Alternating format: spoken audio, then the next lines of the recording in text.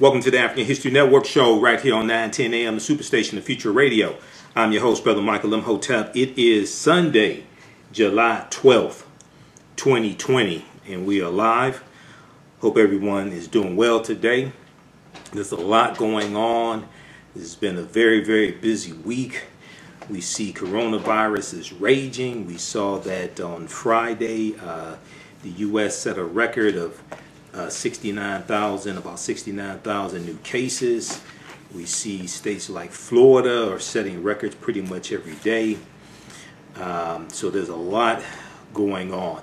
On tonight's show, we're going to be joined shortly by economist and author Dr. Julianne Malveaux. Dr. Julianne Malveaux, you see her on MSNBC, CNN, you see her on Roland Martin Unfiltered, and I've interviewed her before um, right here on 9 10 a.m. Superstation as well.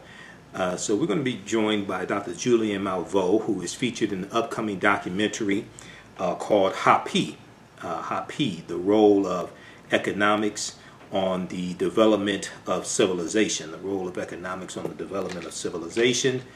And you know, I interviewed um, about, about, three weeks ago um, Dr.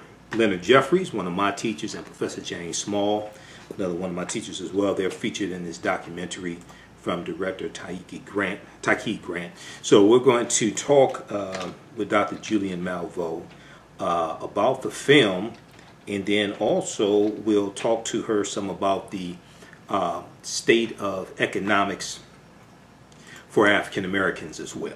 Okay, so you don't want to uh, miss that conversation. Now, this past week, we know that um, Blackout Day took place, and Blackout Day was designed this past Tuesday. Blackout Day was designed to uh, have African Americans not spend uh, money outside of their community, only spend money with African American owned businesses, uh, etc., to send a clear message about the power of the African American dollar and uh, NewsOne.com had an article about this, and, also the Grio as well. And uh, the Grio had, had a follow up article dealing with how um, African American owned businesses uh, saw an increase in the support of their businesses uh, on uh, Blackout Day, okay, Blackout Tuesday. So we'll discuss that a little bit. Uh, then also, U.S. sets a coronavirus update. U.S. sets record for new COVID cases at $69,000, 69,000 in one day. And then also we saw that um, Florida uh, had 15,000, um, 15,300 new cases uh, in a single day.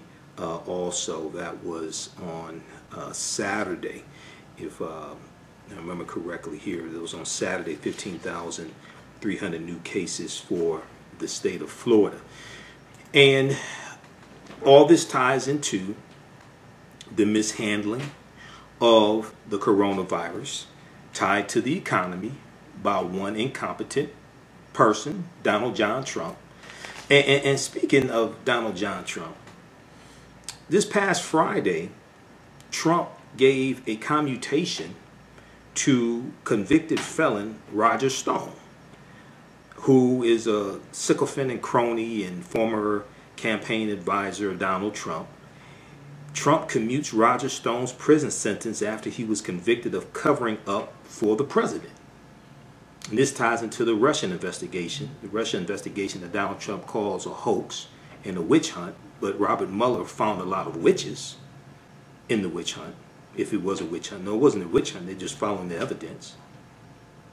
We'll, we'll talk a little bit about that because um, uh, Attorney Kristen Clarke posted on her Twitter page about this.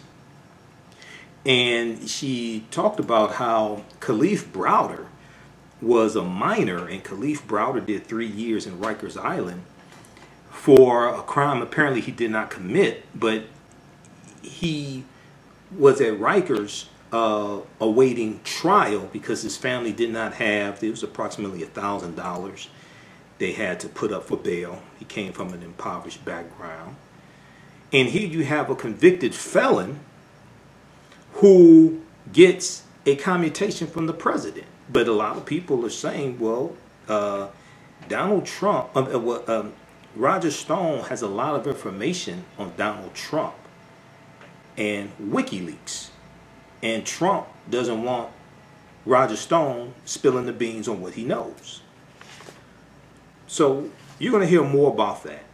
We'll talk some about that. We're still waiting on uh, Donald Trump and the Trump administration to come out with a coherent strategy to address Russia putting bounties, putting a bounty on uh, American soldiers. You, you, notice how they're trying to distract from that, how the Trump administration is trying to distract from that. Still, no retaliation. Still, not even a statement telling, not even a statement telling Vladimir Putin to stop that. Don't do that. Cut that out. We're not going to tolerate that. They're going harder after whoever leaked the information than they are going after Vladimir Putin. So you just have to sit back and you you, you know I, have told you before this is the traitor in chief. I told you before Donald Trump is the first Russian president of the United States. People thought I was playing when I said that. No, I wasn't playing. I was telling the truth. Problem is, a lot of people don't want to deal with the truth. Okay, it's just like. Um, there was an article, and we have this. Uh, uh I'm going to pull this article up here. There was a 30 year old who died of coronavirus. Okay, and he attended this uh, coronavirus party. He thought coronavirus was a hoax. Wonder where he got that nonsense from. And uh, he ended up dying of coronavirus. And his last words were something to the effect was, this is not a hoax. You know, where did he get nonsense like that from? Oh, coronavirus is a hoax. All these people are just dying of, what they done? Nothing? I mean, so you, you sit back and you um, look at this nonsense that's taking place. And some of these people are following Donald Trump um, Donald Trump gets a test about pretty much every day. Coronavirus test. We just saw uh, he, he just wore a mask in public for the first time. Let, uh, uh, let the media film him wearing a mask. He said he was never against wearing masks. He just have to wear it appropriately. That's not what uh, he always said dealing with masks. But the heat is on and he uh, he went to um, a hospital and uh, he wore a mask because it's the right thing to do, it's a responsible thing to do. Now we'll see if he continues to do that. I doubt it. Now I think he should have really done a public service and wore the mask over his entire face, but that's just me. I'm biased. So. Also, speaking of bias, all the debate going on over the Confederate monuments that are monuments to traitors to the Union. Uh, I saw a video from Vox.com, a really good video. Um, actually, uh, one of my friends, Dr. Daryl Scott, history professor at Howard University, he posted this video. I shared it on my Facebook pages this video succinctly deals with how the uh, how Southern socialites rewrote Civil War history.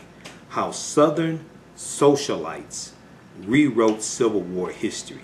And it specifically deals with the uh, daughters of the Confederacy, the daughters of the, of the Confederacy, and how they rewrote the history of the Civil War and promoted this whole myth of the lost cause. Okay, the lost cause. We're going to get into that because that directly ties into the debates over Civil War uh, monuments. And these, we have to be clear, these are monuments to traitors to the Union. They picked, they, they took up arms against the Union and committed treason. Okay, and so every Civil War monument every school named after a quote unquote Civil War hero. All the statues and the monuments need to be taken down and they, they should be put into uh, museums. All those schools need to be renamed. And even though Cass Technical High School is not named after someone who fought in the Civil War, Lewis Cass, uh, it should be renamed as well. We dealt with that last week.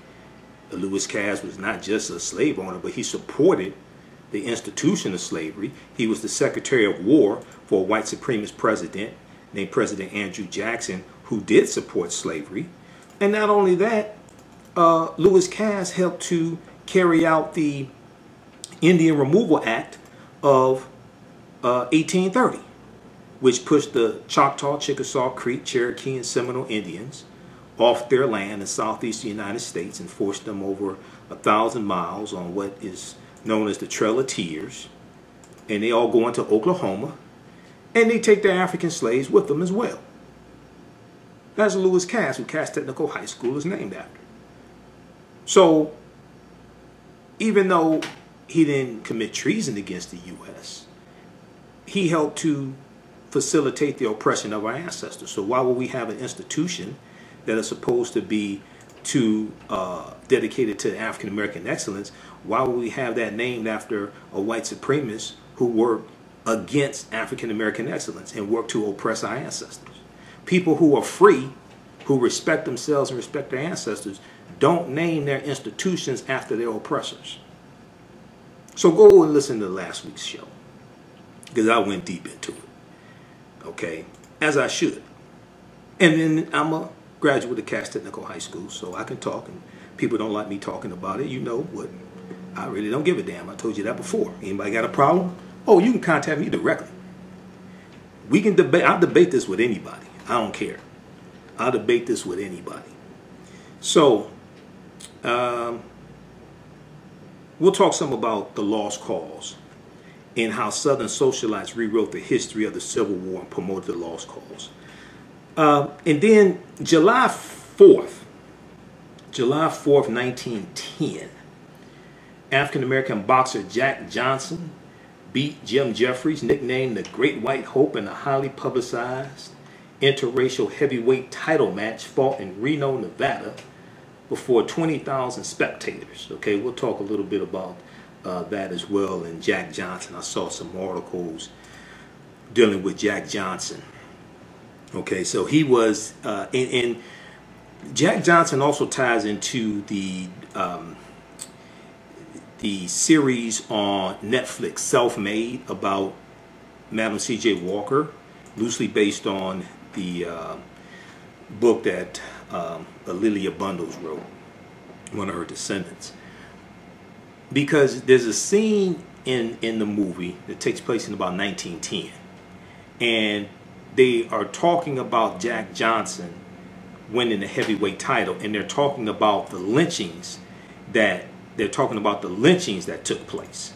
Okay, uh, and that's a very very important uh, piece of history because they're talking about the lynchings that took place after Jack Johnson beat Jim Jeffries, and the lynchings were used as a tool to terrorize African Americans and to uh, try to keep us in our place. Okay, because we were ecstatic when he beat Jim uh, when he beat Jim Jeffries. African Americans were crazy, just like when um, the Brown Bomber Joe Louis, used to beat um, used to be white boxers. Okay, you know they, they put the whole race on their shoulders, and that uplifted the whole race when we saw things like that take place. All right, so we'll um, we'll discuss that also. And uh, we should be broadcasting on our uh, Facebook fan page, The African History Network, The African History Network, and on our YouTube channel, Michael Imhotep, I-M-H-O-T-E-P, and also on 910 a.m., the Superstation's Facebook fan page as well. All right. So we have a lot to uh, discuss, and we have Dr. Julianne Malveaux uh, coming up uh, at the bottom of the hour as well.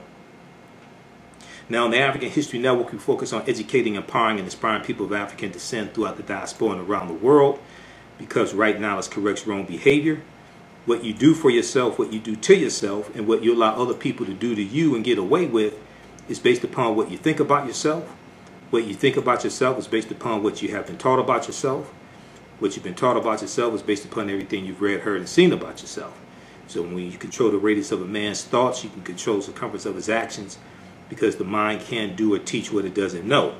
Now, we deal with a number of different topics here on the show. We deal with current events and history and politics, education, economic empowerment, entrepreneurship, relationships, love, sex, health issues, and much, much more. Sign up for our email newsletter. Sign up for our email newsletter. Text the word Kemet, K E M E T, to 22828 to sign up for our email newsletter. Text the word Kemet, K E M E T, to 22828 to sign up for our email newsletter. Also, uh, visit our website, AfricanHistoryNetwork.com. AfricanHistoryNetwork.com. You can sign up for our email newsletter there, right on the homepage at AfricanHistoryNetwork.com. All right. Uh, so follow us on our Facebook fan page, The African History Network. Turn on notifications so you know when we go live. Um, and my YouTube channel, Michael Imhotep, I M H O T E P. Turn on notifications there also so you know when we go live. And you can donate to the African History Network, dollar sign the AHN show through Cash App, dollar sign the AHN show through Cash App, and also through PayPal, paypal.me forward slash the AHN show, uh, or at our website, AfricanHistoryNetwork.com. Okay, we're coming up on a, uh, on a commercial break. We'll be back in a few minutes, and uh, we'll be joined by economist Dr. Julianne Malveaux in a few minutes. You listen to the African History Network show right here on 910 AM Superstation, the Future Radio. I'm Michael Imhotep. We'll be back in a few minutes. All right. Stand by, everybody. How's everybody doing? Stand by. We're on commercial break. We'll be back in two minutes. We have Dr. Julianne Malveaux coming up in a few minutes here. Hope everybody's doing well. We have a lot to talk about tonight. I've been very busy working, so I can't broadcast as much as I want to.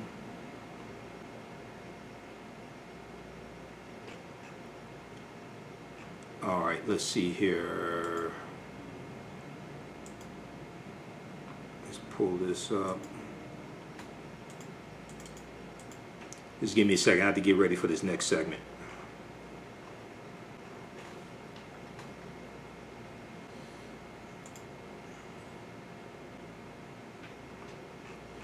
All right, so.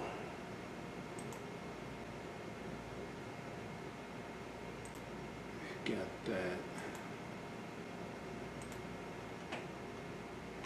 Stand by, everybody.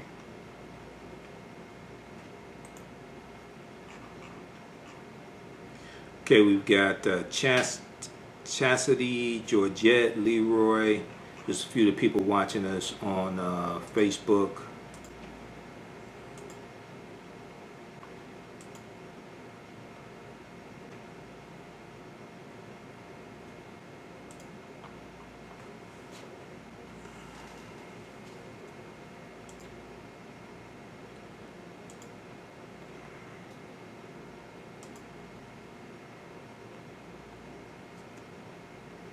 Stand by, we'll be back in a minute.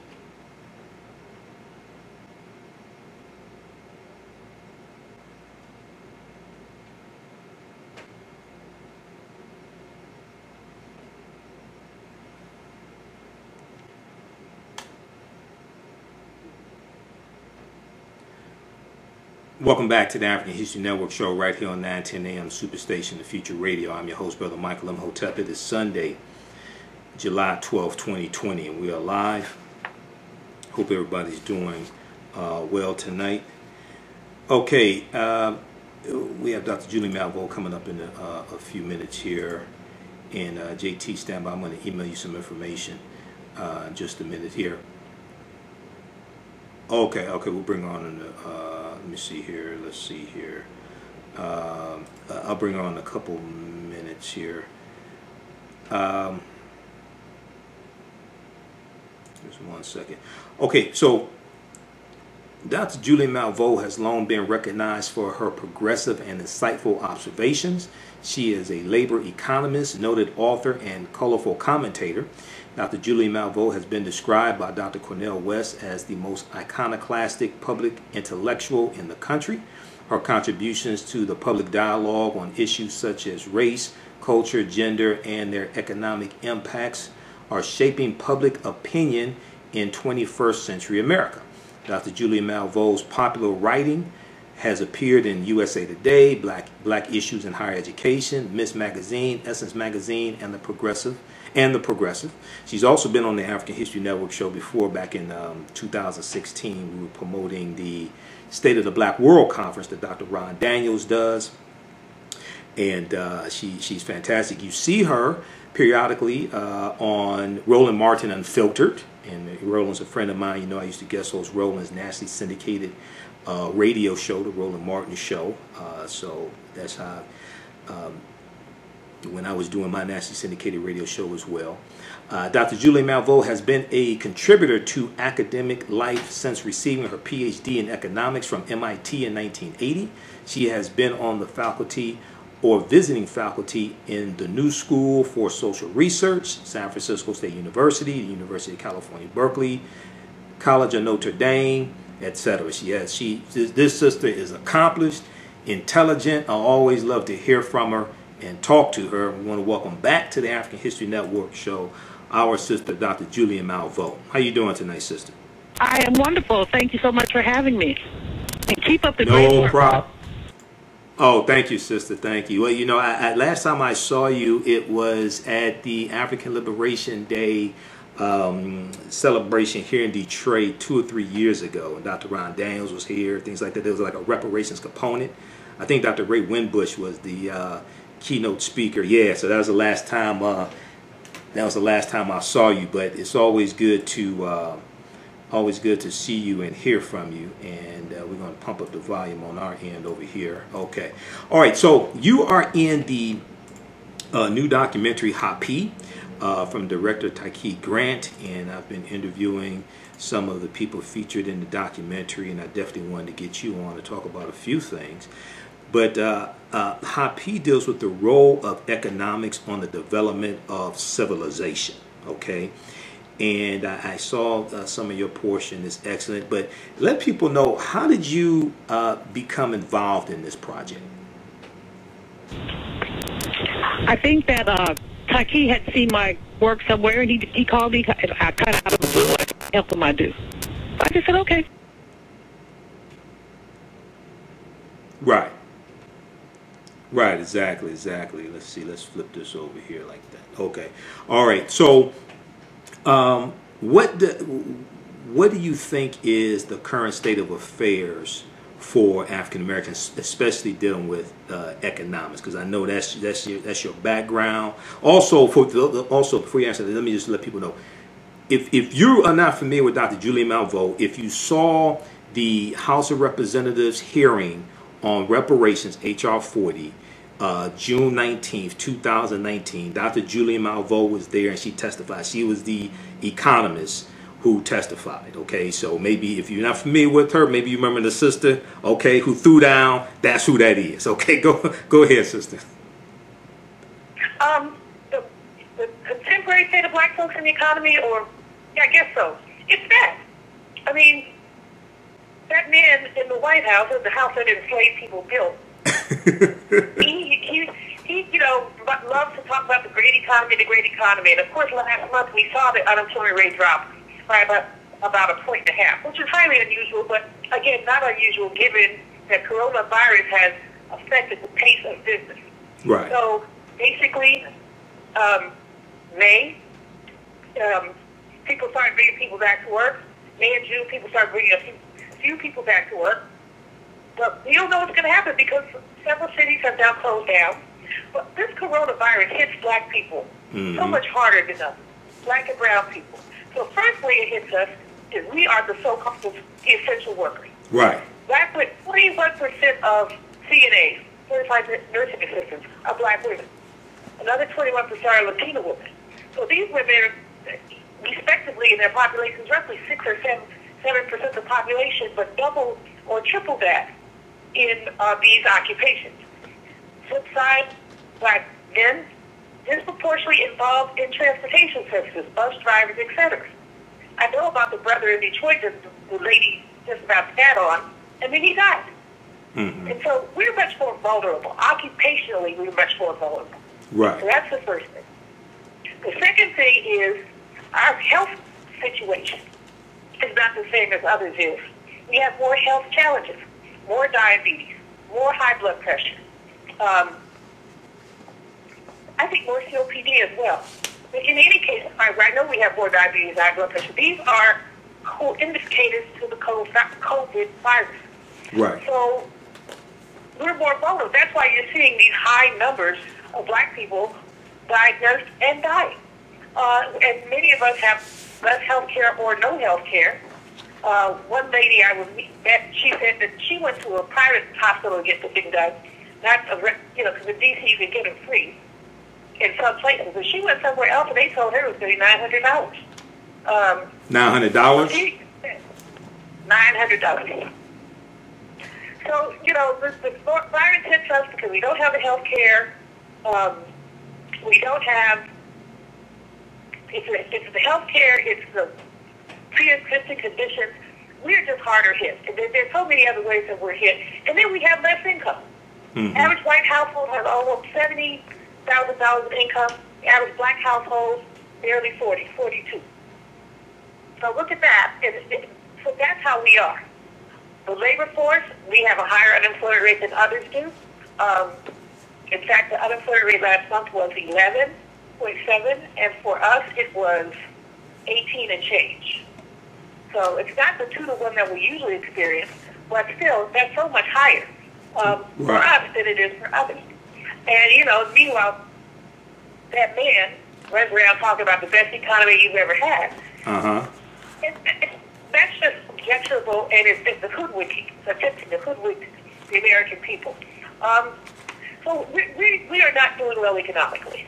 We're slated to lose perhaps as many as 40% of our black-owned businesses. Mm-hmm. I've seen 45. I've had access to the, black folk haven't had access to all these funds that other people have had access to. Right. And that becomes a problem as well. So coronavirus has made us worse off, not better off and there doesn't seem to be any mitigation for it. They weren't even trying to collect the data of who got corona until, you know, vaccine orders, of course, had to get in them. And I said in them, not all, get in them. Mm-hmm. Until these, these data needed to be collected. But they, they don't want to know because, you know, knowledge is power. They don't want to know that our people are more heavily affected. Right. Because they have to do something about it. And, and, and what's, what's interesting, two things. Number one, um, back when you had the uh, coronavirus task force press conferences when they were meeting basically every day. There was it was maybe two and a half months ago, something like that. Um, uh, Surgeon General Jerome Adams talked about how uh, African Americans were disproportionately being impacted by coronavirus. And the question was posed to Trump about it, but he didn't talk about uh, coming up with a solution to it or addressing it. And and and they haven't addressed it.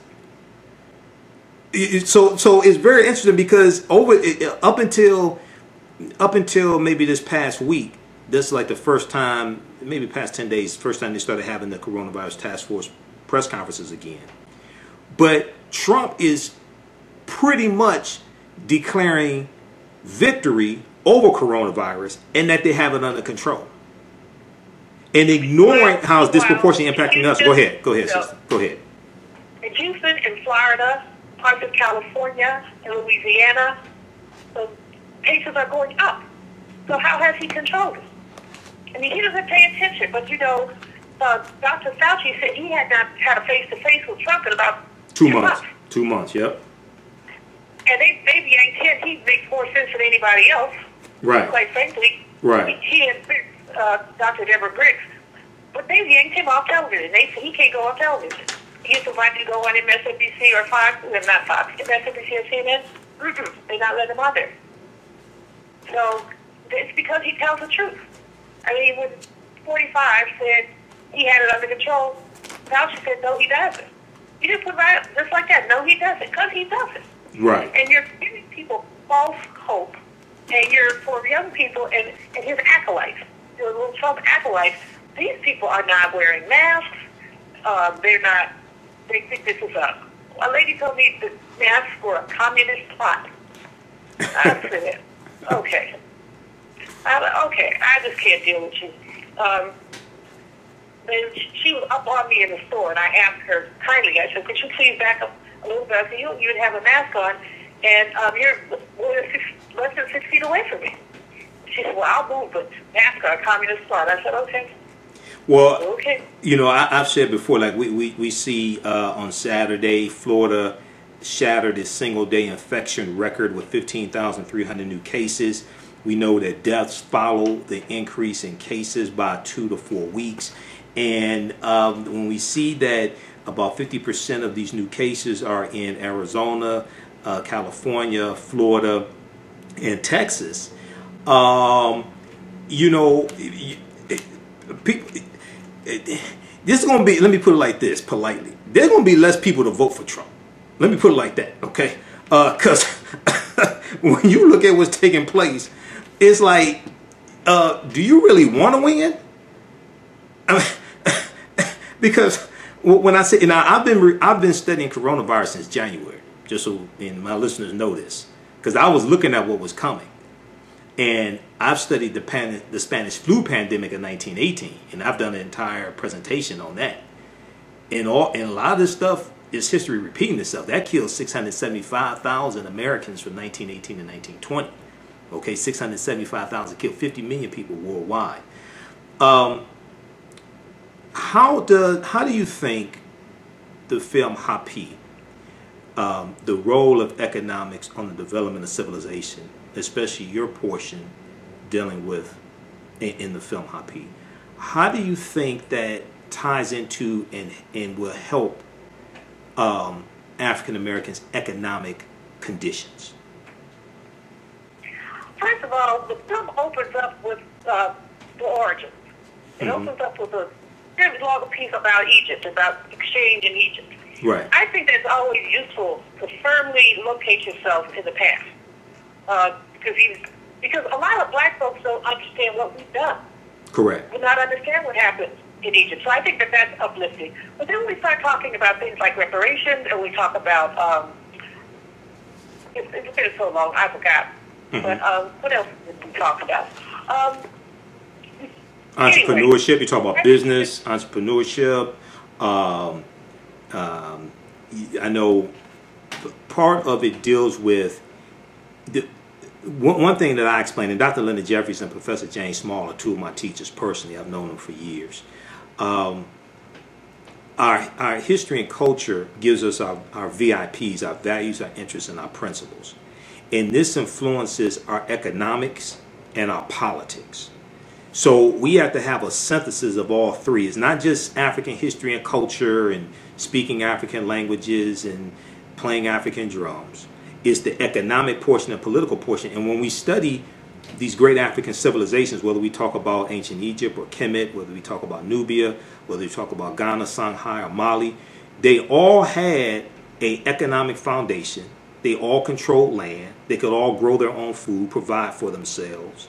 They weren't relying on uh, foreign well, uh, Arabs and Chaldeans or whoever to provide food for them, right? So when we when we study that, and this is something that Dr. J and Professor James Small teach on, and I as well, we see that represented in the film Hapi, and so you brought you brought an important component to it because you are actually an economist.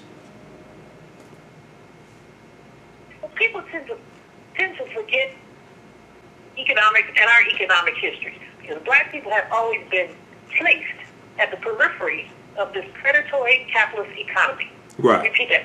Been placed at the periphery of a predatory capitalist economy. Right. And so um, we don't have land. We had more. We had more land in 1910 than we do now. Almost But 16 we million. Mm-hmm. yeah. We we um, aren't controlling the means of production much. We do have some, but a handful, maybe 20, 10 or 20 large black companies who have, you know, a large workforce.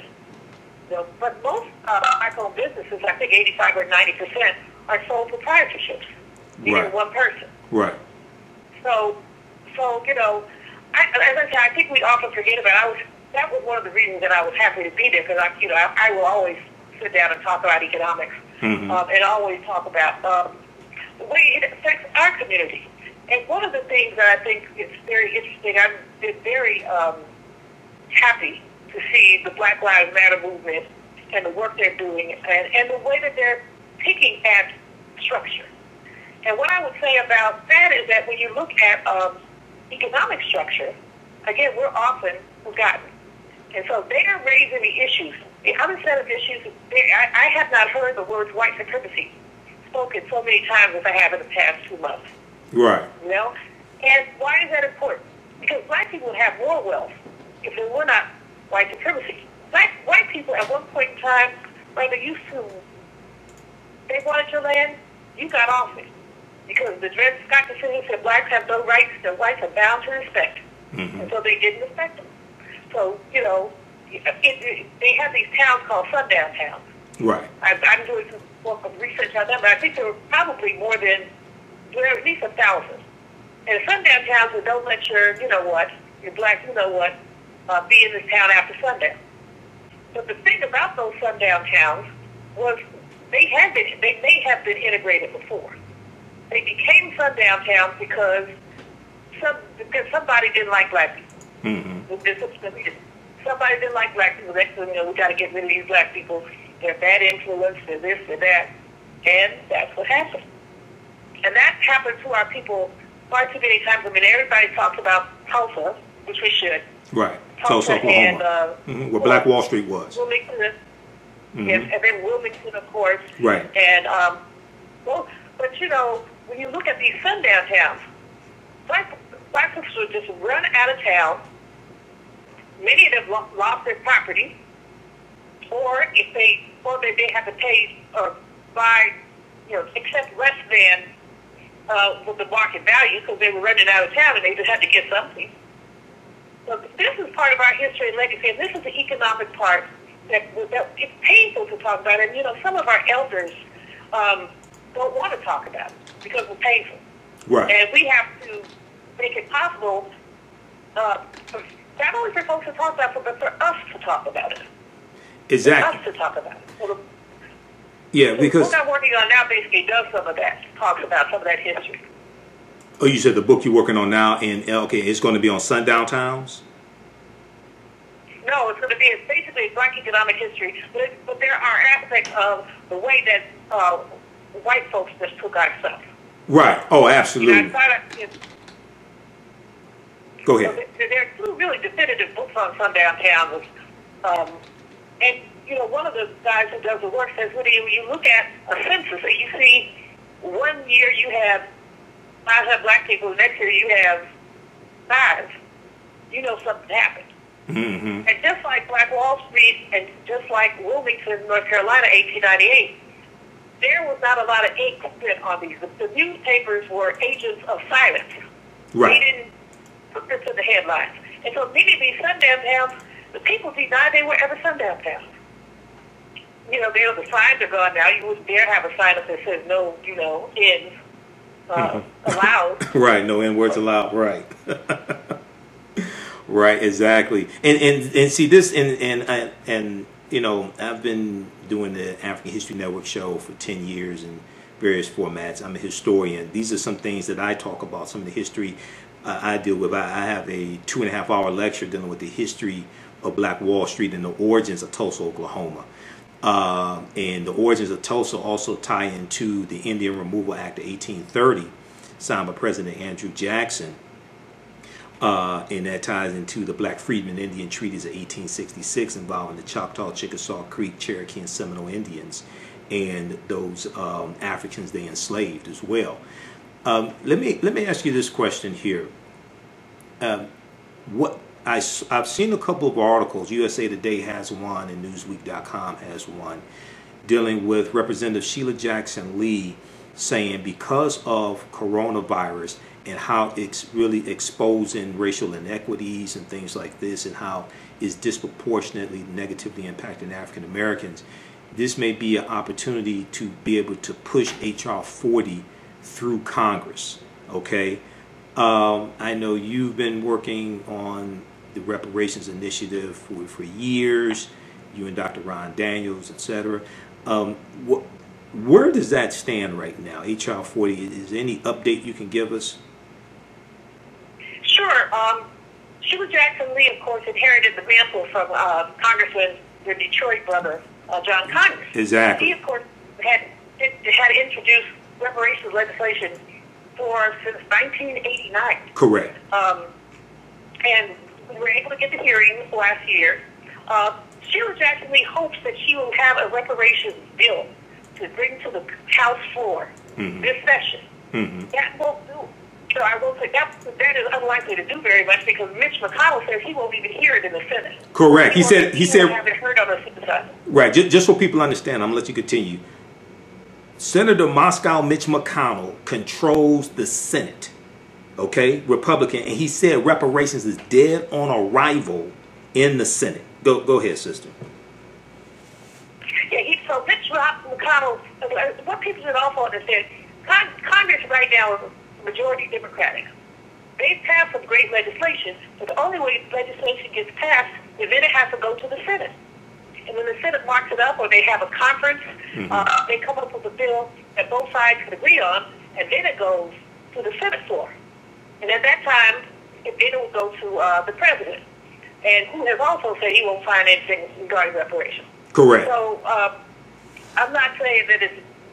But the more we talk about this, and the more we lift it up, the more general knowledge there is among people, and the more specific knowledge there is among people. So it's a good thing, but I, nothing is going to happen um, before the election.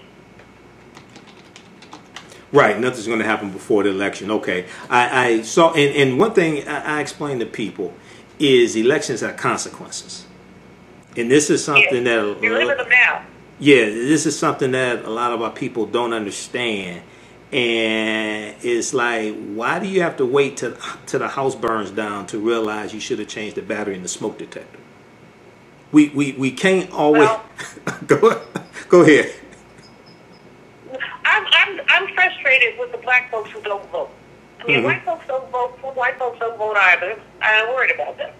But, you know, we do the work. We're the backbone of this country. We must participate. But I've heard so many specious reasons about black people don't participate. The system is, is um, one young lady told me, the system was rigged against black people. Well, yeah, but it's going to be even more rigged if you let the wrong person in office. You know, um, last election, uh, some young people told me they couldn't vote for Hillary because they didn't like her. uh, you don't have to like her. Exactly. didn't come to your house. Exactly. Exactly. So what, what what happens is is that you know I, I I teach on this whole this whole concept I've created called political self defense. Political self defense and political self defense deals with understanding how laws and policies impact the conditions of African Americans, how to protect ourselves from it, how to defend against it, but also how to push our agendas as well. And what we have to understand, see, we, lack for the most part like political education and understanding that politics is the legal distribution of scarce wealth power and resources and the writing of laws statutes ordinances amendments and treaties their adoption interpretation and enforcement and how politics and laws and policies impact every aspect of our life so a lot of the issues that african american youth or millennials are fighting for they all deal with politics but they don't understand the connection. No, but and or you know, a lot of people have been turned off by the system. They know the system, you know, is rigged. The system sucks. But the fact is that it's the system we have. Mhm. Would I prefer a different kind of system? Absolutely. Right. This is what we, this is what we have. We can work to dismantle it or to repurpose it, if you will. Um, but we can't say, "Oh well, I don't care," because the folks who don't care are some of the folks who need help now. Right. I mean, I ask people when when um, they ask me about something, you know, something they perceive has happened to them. They say, uh, "Did you vote? Did you vote?" And I didn't say I would refuse to help someone who didn't vote, but I just want people to to remind people that there are consequences to not voting. Absolutely, absolutely. And, and and one of the things that's important to understand is that whoever's in office is a fiduciary over taxpayer dollars. All the policies that are implemented, whether they benefit you or not, are usually somehow paid for by taxpayer dollars. So if you pay taxes Okay, are you saying if you pay taxes, are you saying you want somebody else managing your taxpayer dollars, somebody that you did not elect managing your taxpayer dollars? When we look at everything from the economy, so a lot of people during 2016 said we don't need to vote, we just need to do economic empowerment and invest in the stock market.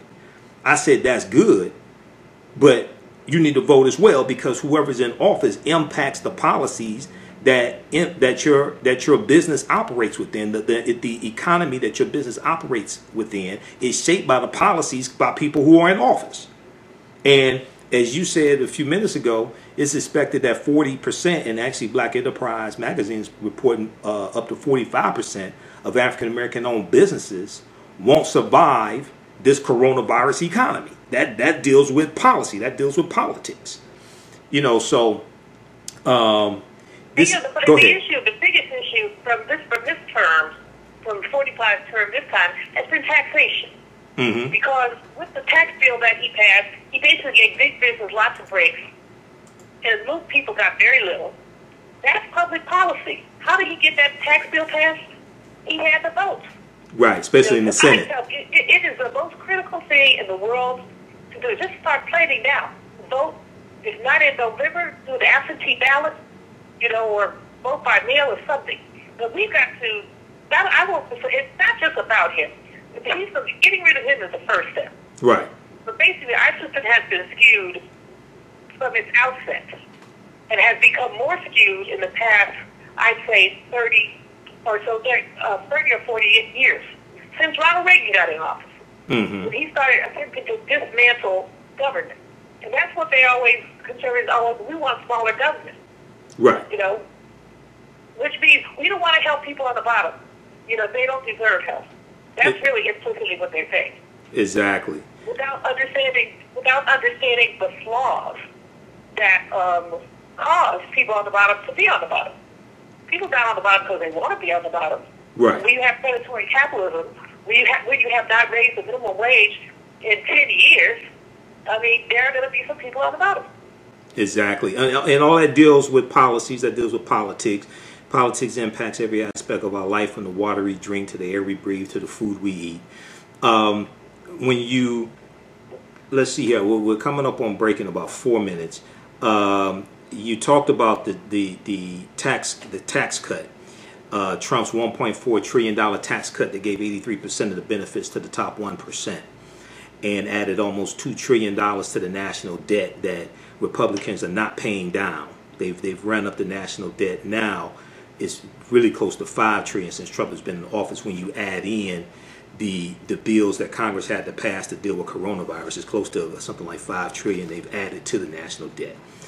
Um, but th- once again, this deals with politics. When we deal with the attorney general, okay, in this role, lawless attorney general, Attorney General William Barr. Uh, and what they're doing is deals with politics. What so on, on this show, I have dealt with um, Joe Biden's 22-page um, Black Agenda, or you know, agenda for African Americans, and it's in six parts. It's in six parts. Each week, I broke down. I went through and broke down one part. We did that for six weeks here on this show because uh, I hear people, I hear a whole lot about people saying we want a black agenda, we want a black agenda from the candidates, things like this, but then they don't go read it. But that's a whole other conversation. Um, what did you get a chance to read uh, Joe Biden's uh, 22-page agenda? I read through it. I didn't do what you did and calculate everything, but I did read, read through it. It's a it's a very decent start. I'm not going to say mm-hmm. good, but I'll say it's a very decent start. Right. That's a good thing. Um, is it the end of the, you know, does it transform our communities? No, but it, make, it will probably make them a little bit better. Um, I, I, I think he means well. I think, you know, Pete Buttigieg had a um, economic plan mm-hmm. that, that, well. The Frederick Douglass plan. The issue, there, are three, there are three things here. First of all, what's the quality of the plan? Um, secondly, when you have the votes who pass aspects of the plan. In, in Congress, yeah, because a lot of it has to pass through Congress. Congress and the Senate, and the Senate. Well, yeah, yeah. The House and the Senate. Both chambers of Congress, yeah. So, the, so, so that's the second piece. Of, do you have, and number three, are people prepared to push for this? Mm-hmm. Not just Biden or anybody else, but who else is prepared to push for this? Right. Right. Because, you know, so, so I, again, I've seen so many economic plans. Mm-hmm. you know, and I'm not, I'm not dissing the effort because I know some people who worked on it. I think they worked hard. I think they worked well. But at the same time, I think that we need, and this is the best we can do in an election. You Mm-hmm. can't make do public policy now. I must tell you that Joe Biden has um, really shown himself to be a very, uh, you know, basically a sensible man, a good guy. Um, he's made some mistakes in the past, and everybody knows about him. But the fact is, right now, I think he's doing some of the right things. And I think when he talks about, has talked about the coronavirus and, and chided Mr. Trump for his cavalier behavior, we need somebody to do that. Somebody say, dude, look, people are dying. We're up to 100 and more than 130,000 deaths in the United States. Yeah, about 135,000. Yep. And, you know, this man is going to Mar-a-Lago and uh, having rallies in Tulsa and, it's just, you know, just doing things that are insensible, but also at some level giving the black community the middle finger. Absolutely, absolutely. Um, and and people can go to. Uh, I, I well, first of all, we're coming up on a break here. Uh, you got a few more minutes. I'm gonna hold you over the break for a few minutes. Yeah, I can. I can wait a few more minutes. Okay. Um, read the article. Everybody, read the article from Black Press USA. Uh, blackpressusa.com. You've heard me talk about it before. Joe Biden's plan for empowering Black America. This came out May 5th, 2020. And you can go back and, and listen to our, our podcast uh, because I went through and thoroughly uh, broke down his plan. Pages 2 through 11 deal with economic empowerment, policies dealing with economic empowerment for African Americans. Uh, and, and, and the Biden campaign calls this a living document meaning that they're going to add to it. They're calling this a living document, and people should understand this is a floor, not a ceiling, but we have to be focused on pushing our issues and policies through the House of Representatives and the U.S. Senate and getting it signed into law by a president. Okay, so stand by, Dr. Julianne Malveaux. Um, you listen to the African History Network show right here on 9 10 a.m. the Superstation, the Future Radio. I'm your host, Brother Michael Imhotep. We'll be back in a few minutes. Welcome back to the African History Network show right here on 910 AM, the Superstation of Future Radio. I'm your host, Brother Michael Imhotep. It is Sunday, July 12th, 2020, and we are live. We're speaking with uh, our sister economist, Dr. Julianne Malveaux. Uh, you've seen her on MSNBC, seen her on CNN. You see her on Roland Martin Unfiltered, and we share Roland's uh, show live here on our Facebook fan page, the African History Network, as well. Uh, okay, Dr. Julianne Malveaux, uh, welcome back, sister. Um, right before the break, we were talking about um, Joe Biden's plan for Black America, and we were talking about reparations and things like that. Uh, so, what being that you are well first of all let me ask this question. Explain to people exactly what is an economist because some people don't know and you know what what is an economist? Well e- economics is a study of who gets what when where and why. Very Yep. much like politics but with a numerical component to it. Economists are people who study flows of goods and services. Right. uh, and they could be agricultural goods and services. It could be stocks and bonds. It could be labor. I'm a labor economist. I study the workplace and how people deal and how people are fair in the workplace. Um, but basically economists are looking at resource allocation.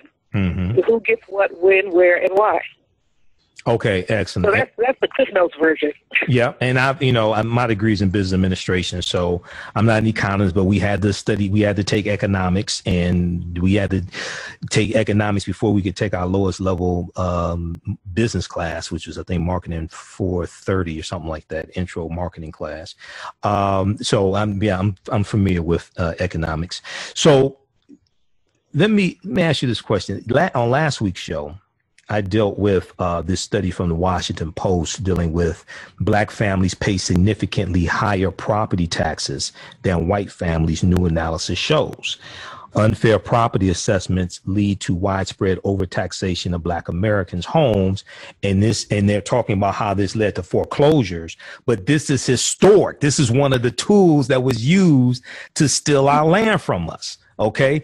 Talk, Absolutely. Talk, talk about that for a minute. And then what should African Americans be doing now to empower ourselves economically and try to uh, reverse this stuff that's going on? Well, first, we need to be economically literate. Uh, mm-hmm. Uh, you need to be able to ask questions. Um, never accept the first price. Someone, you know, oftentimes, uh, for example, black women tend to get um, pay higher interest on car loans mm-hmm. than others do. So one might ask why, and of course, white men are going to bargain, bargain and bargain hard. Oftentimes, auto dealers don't want to deal with women bargaining, but you never take the first. Can you do better? Or I saw this car at down the street for less. So yeah, you go forewarned is forearmed. You go in there prepared, you know, prepared for battle. And I mean, I'm, I'm not exaggerating with some of these things. It is battle. Right. If you can save, you know, if you can save even a thousand dollars, that's battle. So you just, just do it. Um, and a lot of us don't want to, can't, whatever. But that's, you know, so we're basically harming ourselves. So the first thing is to be very educated about every aspect of the economy. Mm-hmm. Secondly, is to be facile about public policy. What, it, it, like the tax bill, uh, what was it? Why why did the rich get all the money? Right. There are so many other. Why has the minimum wage not been raised in ten years? Mm-hmm. So seven dollars and twenty five cents an hour, just like it was in nineteen in twenty ten. I think we got a little bit of a bump, but not much of a bump. No, it's been the same thing for since you know, ten years. That's since two years when when when Democrats control both the House and the Senate. Yeah, that was the last time it was increased uh, to seven dollars and twenty five cents an hour. Yep. Go go ahead. But anyway, so I so the, the second thing is to be you know to be literate, literate to be facile in public policy. Then three, make sure your personal finances are together. Mm-hmm. You know, check your credit score regularly. Not only check your credit score, you know, just check, make sure you're saving what you think you're saving, investing what you think you're investing. Don't be afraid to ask for help. But you know, even if we were a thousand percent perfect, and all, many of us are not, you you have credit card debt, you have this, you have that. But even if we were perfect, we still wouldn't close the wealth gap. Cleaning up your finances is an act of personal empowerment, and I and I applaud anyone who does that. But we also have to think and talk about community empowerment. Okay. Community and with community, that, that's where the reparations conversation comes from. It's okay. about community empowerment. Reparations conversation is about cut everybody a check. Right. I mean, there may be individual reparations, and that would be a good thing. But we're also talking about repairing a community that essentially was deliberately underdeveloped. Mm-hmm. Deliberately underdeveloped. Repairing the damage. And the reason it was underdeveloped is because it allowed majority people to make earn profits on the backs of minority people. Right. Right, exactly. Repairing the damage that was done. And uh one one of the one of the best examples I've seen of this, and I'm not are, are you familiar with the Black Freedmen Indian Treaties of 1866? Oh yeah. Okay, and, and, that and that right there, the the remedy that uh, because you had African Americans that were former slaves of those uh, what were called the five civilized tribes of Native Americans, the Choctaw, Chickasaw, Creek, Cherokee, and Seminole Indians, and um, those families are going to get land. They're going to get citizenship into those native american nations. They get free taxes. It's benefits that they it's benefits that they get from that okay? And even though um, many of us illegally got pushed out of those treaties in 1941 when the uh, those Native American nations and the U.S. government conspired together to re to re- restructure what a Native American is, and they said you need one quarter Native American blood or one quantum Native American blood. Blood, and originally you didn't have to have that. Um, that right there serves as some type of example of some type of comprehensive um, remedy. Okay, some some comp- comprehensive uh, repairing of of the damage. There could be more in it, and you know they got things like free college tuition, free taxes, uh, not property taxes apparently, um, because Sarah Rector had to pay property taxes on her land there in Oklahoma. Okay, and Sarah Rector, you familiar with Sarah Rector? I'm not. No. Okay, Sarah Rector. I'll send you an article on Sarah Rector. Sarah Rector was known as the richest Afro American girl in the country. This was the early 1900s. She lived in Tulsa, Oklahoma, and her family was of former enslaved Creek Indian ancestry. Her family were African Americans who were enslaved by the Creek Indians. And her, her family gets land because of those black freeman Indian treaties. Okay. And oil is discovered on her land and she becomes a millionaire. She's like 13 years old. Her name is Sarah Rector, R E C T O R. So when I teach on Black Wall Street and, and teach on this history, I talk about Sarah Rector because that a lot of the early African American landowners in Tulsa, because Tulsa was founded by Creek Indians around 1834, 1836, um, a lot of those early African American landowners get land because of those treaties. And then that plays into the history of the Greenwood district and all of that. Okay. Um, it, let people know how they can get your books and read your writings and things like that. Uh, my webpage is juliannemalveaux.com. It's J U L I A N N E M A L V E A U X, all one word, dot com. Okay. That's where my website is. Okay, and they can get your books. I know you wrote one book dealing with President Barack Obama. Uh, I think it was like 2016, something like that. Yes. Okay. Absolutely. Okay, and then you have. There's still a few copies that left, and then the you know my my my little love note. I call it love note to my people called uh, "Surviving and Thriving: 365 Days in Black Economic History." Right, right, okay. And I know, like when you when you're on Roland Martin Unfiltered and things like that, I know you like to call. uh I know you like to call Donald Trump the orange orangutan, but I just want to say I think that's disrespectful to orangutans to associate him with uh, orangutan. I've, I've, said that many times. I don't mean to insult orangutan. Right. exactly. Exactly. All right, sister. Well, look, I, I, appreciate appreciate you taking time out of your busy schedule. Once again, um, Dr. Julie Malveaux is featured in the documentary Hapi. Hapi deals with uh, the role of economics on the development of civilization, visit the website hapifilm.com, H A P I, hapifilm.com. Uh, the world premiere is July 18th. 2020, 7 p.m. Eastern Standard Time online. You can get tickets at hapifilm.com. The film also features Dr. Leonard Jeffries, Professor James Small, Dr. Wade Noble, Dr. Patricia Newton, and others. So we'll have some more of the uh, people featured in uh, that documentary uh, here on the African History Network show. Visit the website hapifilm.com. All right, Dr. Julie Malveaux, you have a fantastic uh, evening, sister. We'll talk soon, okay? You too, and have a blessed week. Thank Take you. Care. Thank, thank you. I appreciate it. All right, everybody. That was uh, Dr. Julianne Malveaux, economist. She's actually an economist, and a lot of people pretend to be an economist. No, she's she has a PhD in economics. She's actually an economist. Okay, so just so people don't get confused, all right, because a lot of people like to talk about economics, but they're not economists. All right, so we bring the experts on this show as well.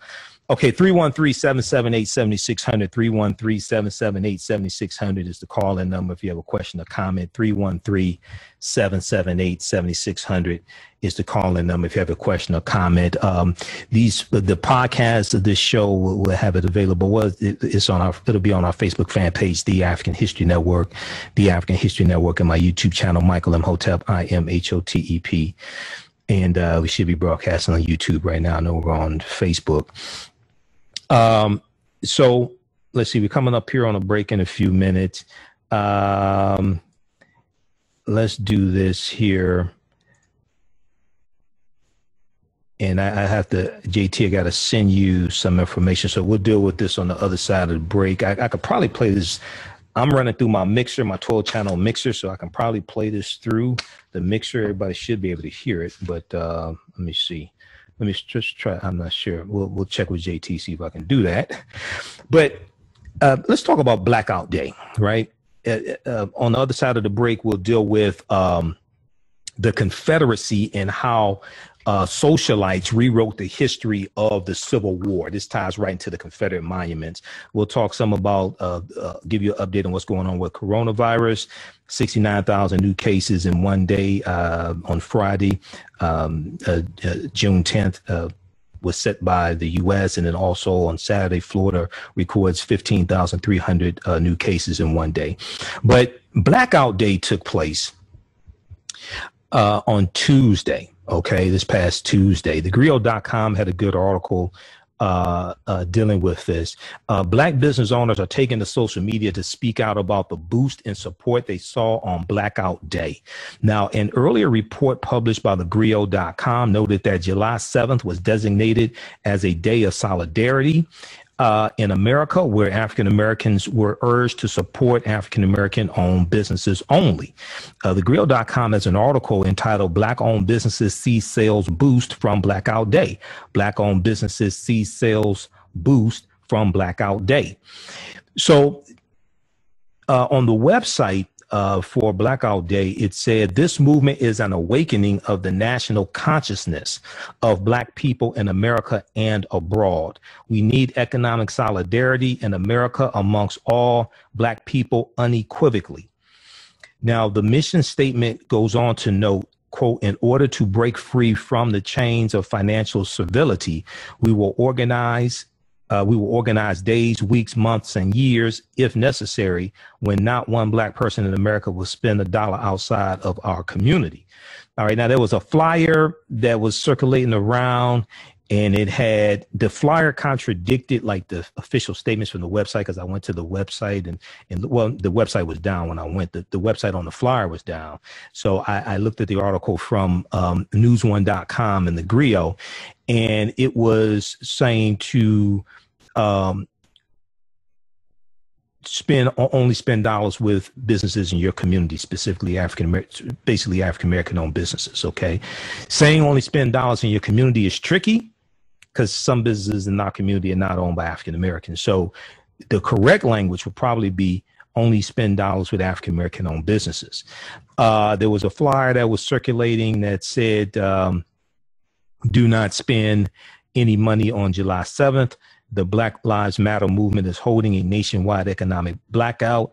Black people account for 1.2 trillion in annual U.S. spending. With just one day of no spending by POC, people of color, and allies, we could keep billions out from the economy. Money talks, let's speak their language. Okay, but so that I, I don't know who did that flyer. That flyer contradicts what the overall message was about recirculating recycling dollars amongst our own businesses okay?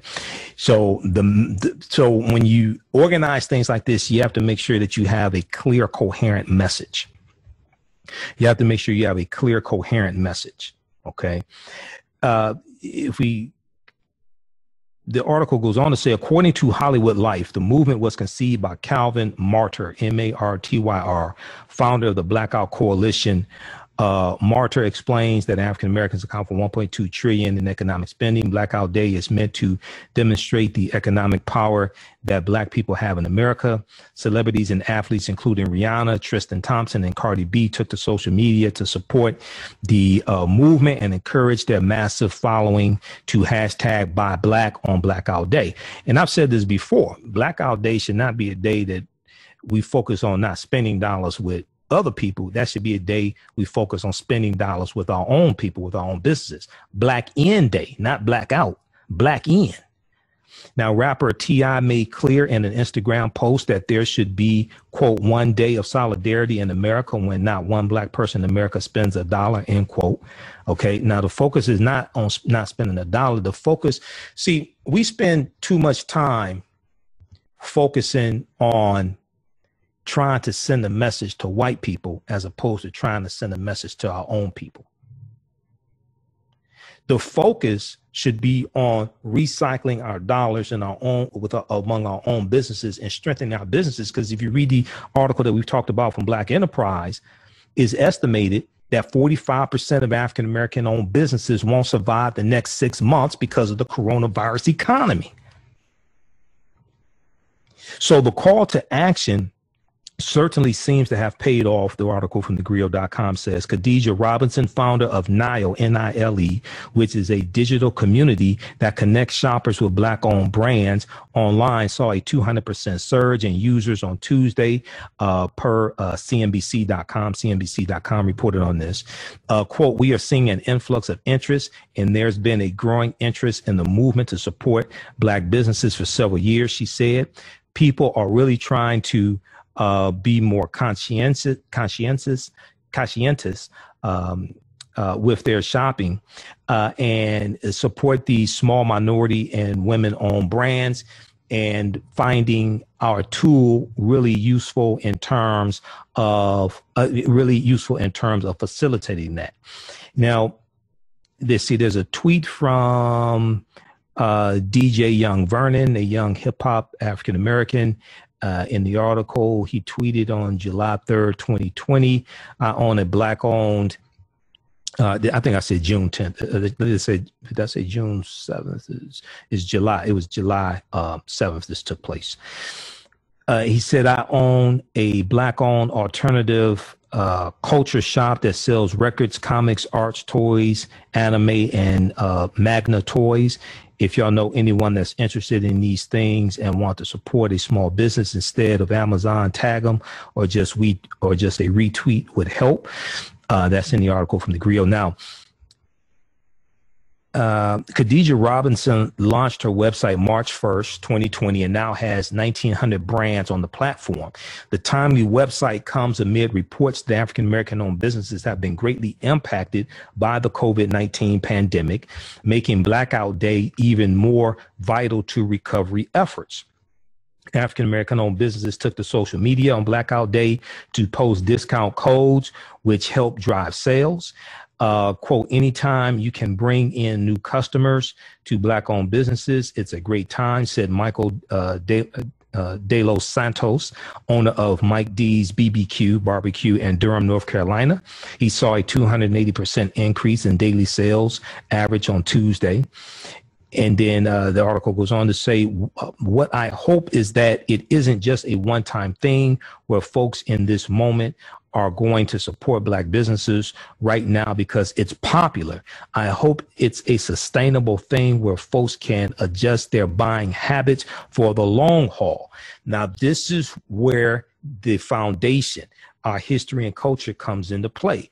African history and culture gives you your values, your interests, and your principles. It gives us our self esteem, our self development, our self worth. What you do for yourself, what you do to yourself, and what you allow other people to do to you and get away with is based upon what you think about yourself. What you think about yourself is based upon what you've been taught about yourself. What you've been taught about yourself is based upon everything you've read, heard, and seen about yourself. Okay, we're coming up on a break. Uh, you listen to the African History Network show right here on 9 10 a.m. the Superstation Future Radio. I'm Michael Imhotep. We'll be back in a few minutes. Welcome back to the African History Network show right here on 9 10 a.m. Superstation Future Radio. All right, uh, so it's Sunday, uh, July 12, 2020, and um, we were joined by our sister, uh, Dr. Julianne Malveaux, in the first hour uh, of the show. Also, um, right before the break, we were talking about um, Blackout Sunday, uh, Blackout Tuesday, I should say. Blackout Tuesday, thegrio.com has a good article um, dealing with uh, Blackout Tuesday, and uh, I, want to. I'm I'm going to send this uh, to uh, JT. I'm going to email you this clip here. Um, I, I want to talk some about this whole controversy dealing with the Confederate monuments. And you've heard me talk about this before. Uh, I'm totally against the I'm totally against people taking upon themselves to tear down Confederate monuments and activists to tear them down. Every Confederate monument, every Confederate statue needs to be removed. It should go into a museum. Okay. Now with Stone Mountain in Georgia, you can't put that in a museum. It's too it's too tall. It's a mountain. Okay, they need to redo that because that has the uh, images, that has the carvings of um, Jefferson Davis, who was the president of the Confederacy, General Robert E. Lee, and uh, Thomas Stonewall Jackson on it, three traitors to the Union. Okay. But we also have to ask the question how do people get the history of the Confederacy so wrong?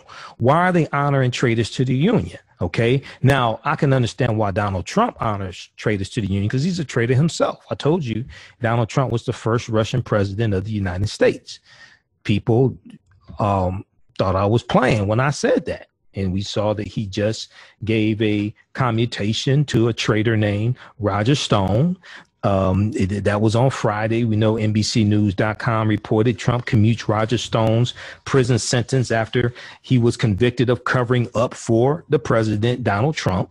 Uh, Donald Trump on Friday um, July 10th, Friday, July 10th, commuted the prison sentence of former campaign aide Roger Stone, sparing his longtime advisor from having to report to prison next week. Quote, Roger, Donald Trump said Roger Stone has suffered already. Uh, the White House said in a statement, he very unfairly and was, as very many others in this case, Roger Stone is now a free man. Um, so, you know, there's so much wrong with this. Um, and you have a lot of uh, Republican senators who uh, I said on last week's show, whatever punishment Donald Trump pays, these these Republican senators that aided and abetted him, like Susan Collins and Senator Lamar Alexander and, and Senator Ted Cruz and Senator Spineless Lindsey Graham of South Carolina.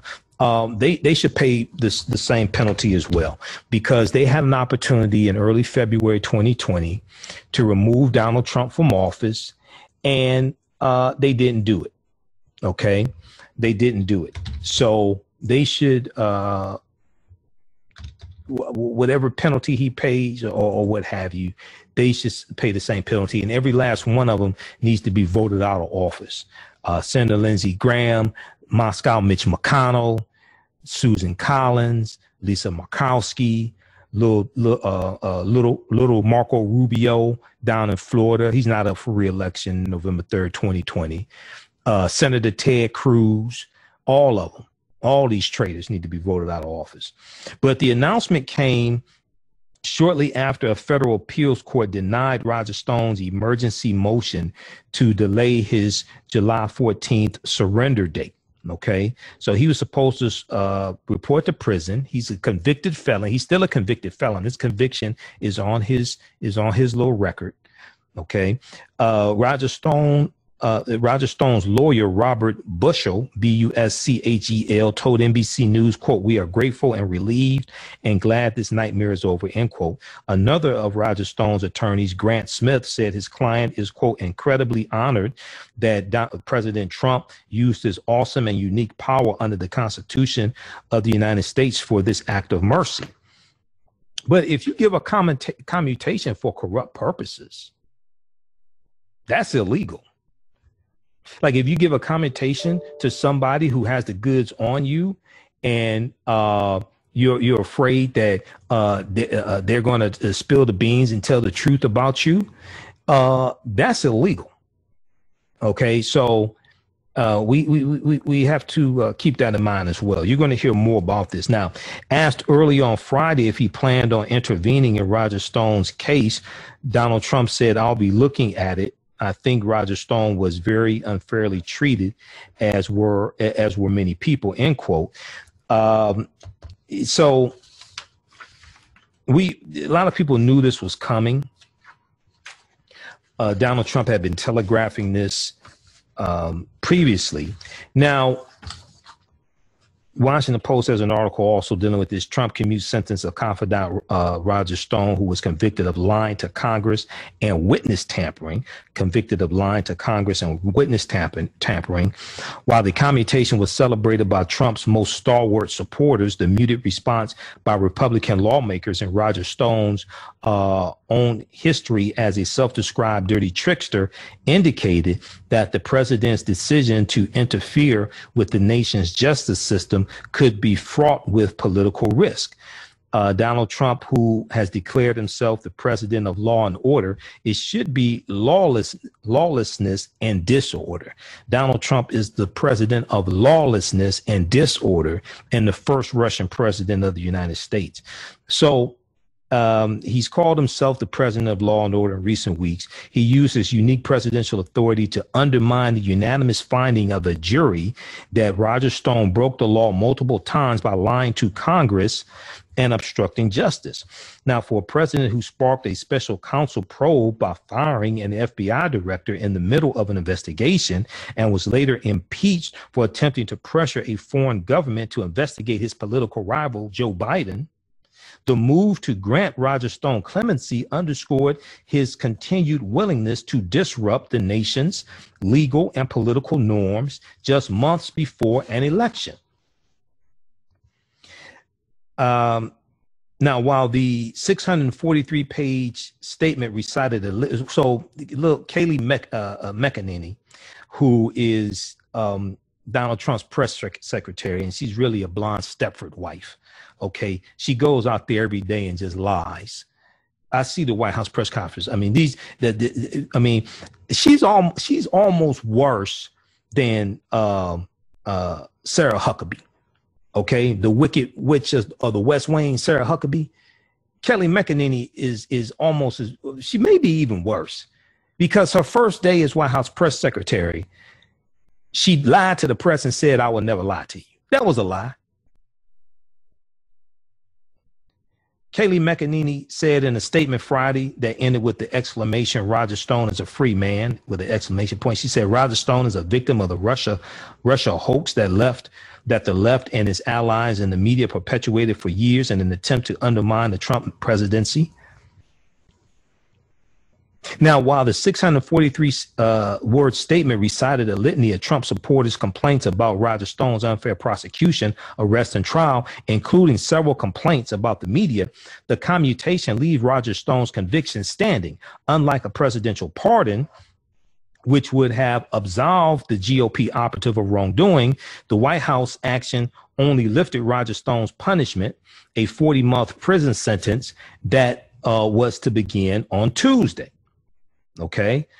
Uh, so the, now check this out. Now I find this very interesting. The reason why they said that they, why Trump gave a commutation of, of the Roger Stone, the White House cited Roger Stone's age, 67, saying he would be a medical risk in prison while he continued his appeals.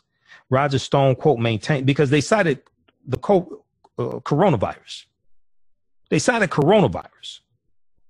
Look at the hypocrisy of this. Now, just a couple weeks ago, Donald Trump was talking about ending the federal funding for coronavirus testing centers in places like Texas and other places that have seen an increase in cases. We know in Arizona, people are having to wait five, six, seven, eight, nine hours in line to get a coronavirus test, and and and then they have to wait days for the results. So you're talking about removing federal funding for coronavirus testing. While at the same time, a convicted criminal like this, you say he should not go to prison because of a fear of coronavirus. Yet you don't want to properly fund coronavirus testing. You say that somebody who has the goods on you should not go to prison because of fear of coronavirus and they're older and they could get coronavirus, while at the same time, you don't want to properly fund coronavirus testing. Then, on top of that, you want to pressure governors to send children back to school come the fall and coronavirus numbers are steadily increasing across the country and we're seeing we're, we're seeing increases we're seeing records being broken day after day after day This is an example of how elections have consequences. As I told you before, this November 3rd, 2020 election is liter- literally about life or death. This is literally about life or death. Now, Democrats quickly slammed the decision by Donald Trump to give a commutation to his criminal friend. How how does Donald Trump know so many criminals? I'm just curious. What type of people are you hanging around that know so many criminals? Roger Stone, Lieutenant General Michael Flynn, Paul Manafort. What type of people is he hanging around? But birds of a feather flock together. Michael Cohen. Michael Michael Cohen got picked up. Michael Cohen's Cohen's back in jail. His his former longtime attorney, Michael Cohen, who got released from prison because of coronavirus. Democrats quickly slammed the decision as yet another instance of Trump's undermining the nation's justice system by protecting his friends and seeking to punish his enemies. Protecting his friends and seeking to punish his enemies.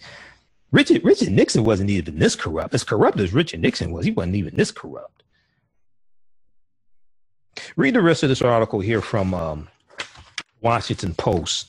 Trump commutes sentence of confidant Roger Stone, who was convicted of lying to Congress and witness tampering. Okay. And um, uh, Candace Owens needs to debate you. Is Candace Owens can bring her ass on here anytime. I'll debate Candace Owens. Candace Owens don't want none of me, and she don't want she she doesn't want to debate uh, uh, Roland Martin either. Candace Owens is very ignorant of history, so she want to bring her ass on here. We you know we'll get her some black hair care products before she comes on, so she can touch up those edges. Um, let's see here. Okay, then Robert Mueller broke his silence over a year. He wrote an op ed article for the Washington Post. Mueller breaks his silence to defend Russia investigation and Stone prosecution. Read this article, July 11th, 2020, from the Washington Post. Uh, Former special counsel Robert Mueller III broke a nearly year long silence Saturday to defend his office's prosecution of Roger Stone and his larger investigation of the 2016 Trump campaign, writing an op ed piece to publicly push back against attacks from the president and his supporters. The piece uh, which appears in Sunday's Washington Post, is a remarkable departure from Robert Mueller's self imposed silence as the political debate surrounding his work has continued to rage more than a year after the uh, after he concluded his investigation of Russia's interference in the last presidential election. And it underscores the degree to which the cases Mueller brought have been undone or undermined by the Trump administration and others because Donald Trump, with the help of his henchmen, Attorney General William Barr, are trying to totally erase the findings and the convictions from the Mueller investigation. This is what this is what this is all about. Okay. And they're trying to uh, they're trying to do this before the November 3rd, 2020 election. But keep in mind, Donald Trump is an impeached president because he tried to shake down uh, new Ukrainian President Vladimir Zelensky in the July 25th, 2019 call to try to get them to launch an investigation into Joe Biden and his son Hunter Biden. Okay. So this is this whole thing right here is I mean, I've never seen corruption like this, not in America. Other other other countries. We've never seen corruption like this. This is unprecedented.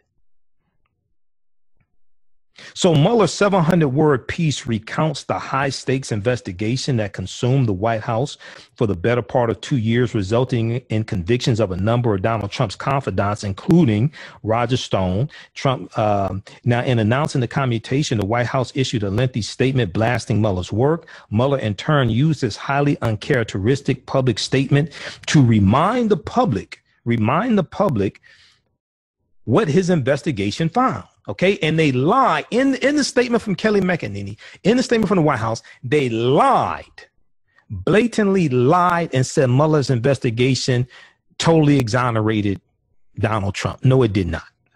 That's a blatant lie. Quote, we now have a detailed picture of Russia's interference in the 2016 presidential election, Robert Mueller wrote. Quote, we also identified numerous links between Russian government, between the Russian government and between the Russian government and Trump campaign personnel, Roger Stone among them. We did not establish that members of the Trump campaign, quote unquote, conspired with the Russian government in its activities. The re- now, the, the term conspired is very important. You've heard me talk about this before. I encourage people to read the uh, Mueller report also. And I've got my copy of it right here because on uh, in the Mueller report, they talked about how they did not investigate uh, collusion. Collusion is not a legal term. Okay, they investigated criminal conspiracy. All right, now criminal conspiracy deals with and and, and he he made it clear in volume one, page two. Uh, Mueller said, but collusion is not a specific offense or theory of liability found in the United States Code, nor is it a term of art in federal criminal law. Okay. For those reasons, the office's focus in analyzing questions of joint criminal liability was on conspiracy as defined in federal law. Conspiracy as defined in federal law. So they're dealing with criminal conspiracy. In connection with uh, that analysis, we address the uh, factual question whether members of the Trump campaign, quote unquote, coordinated a term that appears in the appointment order with Russian election interference activities. Like collusion, quote unquote, coordination does not have a settled definition in federal criminal law. Okay, we understood coordination to require an agreement, tacit or expressed, between the Trump campaign and the Russian government on election interference we understood coordination to require an agreement, an agreement either tacit or expressed between the Trump campaign and the Russian government on election interference. That requires more than two parties taking actions that were informed by or responsive to others' actions or interests. So when you go look at this, um, they're saying that they could not find an agreement between the Trump campaign and the Russians. They cannot find an agreement, either tacit or implied. Doesn't mean an agreement didn't exist, but then they go on to lay out how the Trump campaign welcomed help from Russia's and 140 contacts between Trump campaign personnel and Russians. So, I, you know, you've heard me talk about this before. Those who listen to the show regularly and heard me cover the impeachment and the Mueller report and things like this, right? If a bank robbery takes place and you see four people, suspects, coming to the bank basically at the same time, basically dressed the same, they rob the bank, they go in the same direction and get into the same car. Do you have to see an agreement, either tacit or express, to realize they're working together? Are we to assume that they all got into the same Uber at the same time? Or is it reasonable to come to the conclusion mm, they're probably working together? We don't have to see an agreement, tacit or expressed, between them to come to that conclusion. It's pretty safe to assume they're working together. So Robert Mueller went on to say, we did not establish that members of the Trump campaign conspired with the Russian government in its activities. The investigation did, however, establish that the Russian government perceived it would benefit from a Trump presidency. The Russian government would benefit from a Trump presidency and work to secure that outcome. The Russian government worked to secure helping Donald Trump become president. It also established that the campaign expected it would benefit electorally from information stolen and released through Russian efforts. End quote. Now, in asserting that Roger Stone had links to the Russian government, Robert Mueller appears to reference private messages. The political consultant, Roger Stone, who also was a good friend of Richard Nixon, and he was a campaign advisor to Richard Nixon. And Roger Stone has a tattoo of Richard Nixon's face between Roger Stone's shoulder blades. What kind of what kind of relationship they had? I don't know. I mean, I don't, uh, okay, um, whatever. These type of people Trump hangs out with. Okay. Now, it also established that the campaign expected it would benefit electorally from information stolen and released through Russian efforts. End quote. Now, in asserting Roger Stone had links links to the Russian government, Robert Mueller appears to reference private messages that Roger Stone and longtime Trump friend, uh, a longtime Trump friend, had with an online persona known as Guccifer 2.0 in August of 2016. Now, U.S. officials have said Guccifer 2.0 was not the Romanian hacker he claimed to be, but a front created by Russian intelligence agents a front created by Russian intelligence agents. Roger Stone said at the time that he did not believe Guccifer 2.0 was Russian.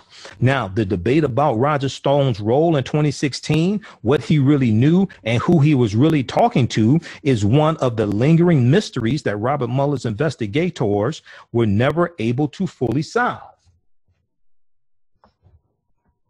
Okay, never able to fully solve. The, the known interactions between uh, Stone and the anti secrecy group WikiLeaks. Donald Trump said, I love WikiLeaks. Donald Trump mentioned WikiLeaks about 160 times in the last 30 days of the 2016 campaign. Then, after he stole the election with the help of Russia through and, and, and won it in the electoral college, because most people don't understand how the electoral college works and don't realize that it's not the popular vote nation, nationally that matters is the popular vote per state that matters. That's why Republicans engage in a in, in a voter suppression campaign to suppress the vote in key battleground states like Michigan, Wisconsin, and Pennsylvania. And Donald Trump won Michigan by ten thousand seven hundred and four votes, and Jill Stein got fifty thousand votes out of Michigan. Still don't understand what the hell that was about. Well, I know what it was about, but I don't understand why people voted for Jill Stein. Uh, I know what that was about because I told you about it then and I told you about it afterwards, especially when we deal with the picture of Jill Stein at the Russia Today uh, anniversary in uh, 2015.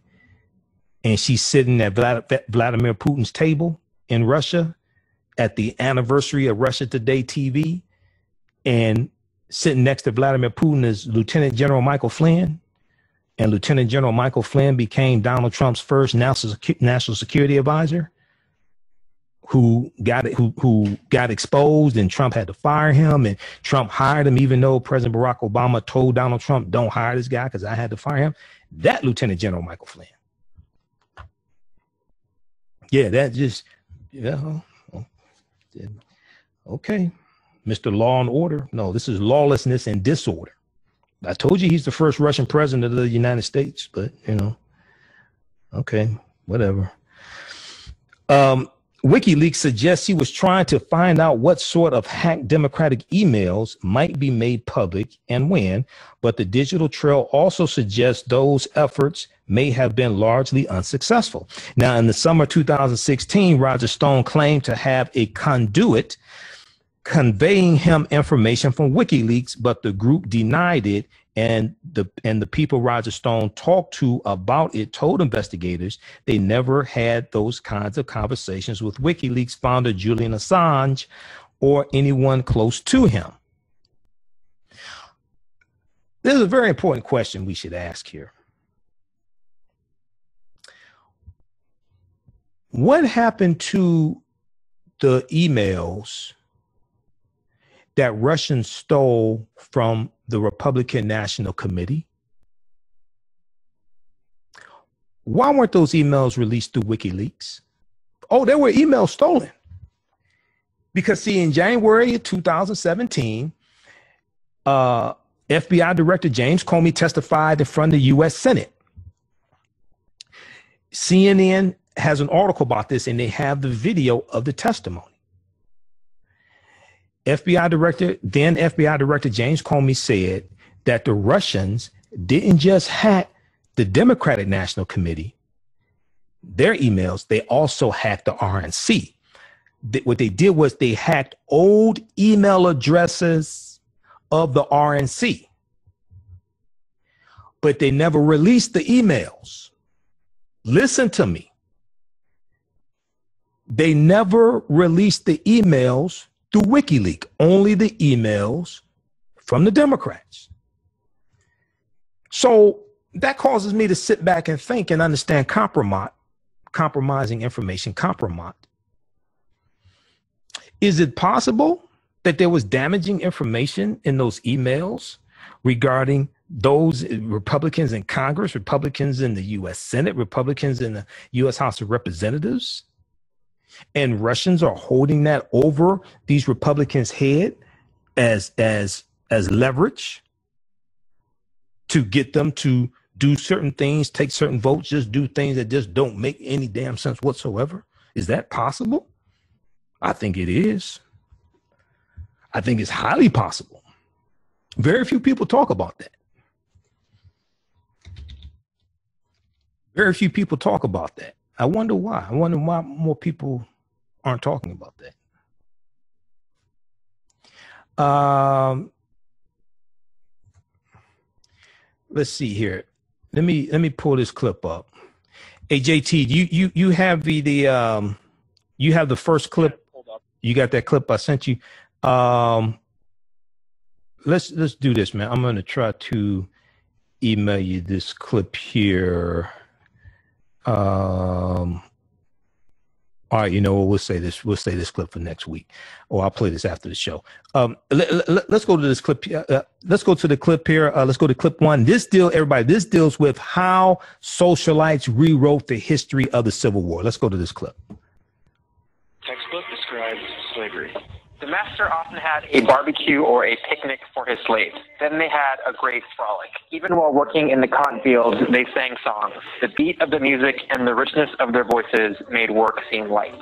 Yikes. That's from History of Georgia, a textbook published in 1954 that was taught across junior high schools in Georgia for decades. That sort of language is part of an intellectual movement called the Lost Cause, a distorted version of American Civil War history that's been prevalent in the South for a long time. It took shape soon after the defeat of the Confederate States in the war, when Southern historians like Edward Pollard and former Confederate General Jubal Early started preserving the South's perspectives through their writings. They framed the Confederate cause as a heroic defense of the Southern way of life against the overwhelming forces in the North. That narrative has a few basic tenets the glorification of Confederate soldiers who died for a cause they believed in, the belief that slavery was a benevolent institution, and maybe most importantly, that slavery was not the root cause of the war. The Lost Cause is one of the most notoriously effective efforts to rewrite history, and it was done by the losing side. So, how did it become so deeply rooted in Southern memory? Blame the United Daughters of the Confederacy. The UDC was founded in Nashville in 1894 to preserve Confederate culture for generations to come. The women who made up the group descended from elite antebellum families, and they used their social and political clout to spread the pro-Southern version of the war as real history. You've probably seen their efforts to honor the Confederacy, but maybe you didn't know it was the UDC. They're the ones who covered the Southern landscape with memorials for Confederate leaders and soldiers. They used their fundraising and lobbying skills to pressure local governments into erecting monuments in prominent public spaces like courthouses and state capitals. Installed here next to the state capitol by the United Daughters of the Confederacy. The United Daughters of the Confederacy donated this memorial to the city back in the 30s. They put them along roadsides and in parks. Any place that was remotely relevant to the Confederacy was memorialized. By the early 20th century, the UDC had 100,000 members and chapters spread all over the country, but mostly in former Confederate states. And there's a reason they grew so quickly during that time. So we're talking about roughly three decades after the end of the war, and the Confederate veterans themselves are beginning to die off. So there is this push to find ways to commemorate. Because the big challenge by 1900 was there's a new generation of white Southerners being born, and they never experienced the, the war years. That push is visible. Most of the Confederate monuments were erected during the UDC's height of influence there's a rhetoric around monuments that we want to get the, this thing built before all of that generation has died off. And the reason we want it is to teach future generations about those men. Dr. Karen Cox wrote the book on the UDC, and I asked her if it was fair to say the group established the lost cause as historical fact in the South. Oh my God, yeah. They were the leaders of the lost cause into the 20th century, and they made it a movement about vindication. Just to give you an idea of how effective they were, they successfully lobbied for a Confederate memorial in Arlington National Cemetery, which U.S. President Woodrow Wilson proudly unveiled to a cheering crowd. And that's influence, right? Monuments are the least of what they did. Uh, what? I mean, they, they are the most visible and tangible, but the work with children was far more influential. It turns out a central UDC objective is shaping how children think about the war and their Southern heritage. One of their most powerful tools? Textbooks. Take a look at this pamphlet called A Measuring Rod for Textbooks. It was written by the illustrious Southern historian Miss Mildred Rutherford, an educator, orator, and author of Southern history textbooks. She's also very pro-slavery. The pamphlet announced the formation of a textbook review committee featuring prominent Southerners like five former Confederate generals. This group was committed to spreading the truths of Confederate history, so they instructed school boards to reject any textbooks that did not accord full justice to the South. And they urged libraries to deface every book in their collection that didn't measure up by writing the words unjust to the South clearly on its cover. This pamphlet was shared widely with school boards throughout the South, and UDC-backed committees closely monitored history books to make sure Northern influence never reached classrooms. So the core language of an approved textbook aligned precisely with that of the Lost Cause.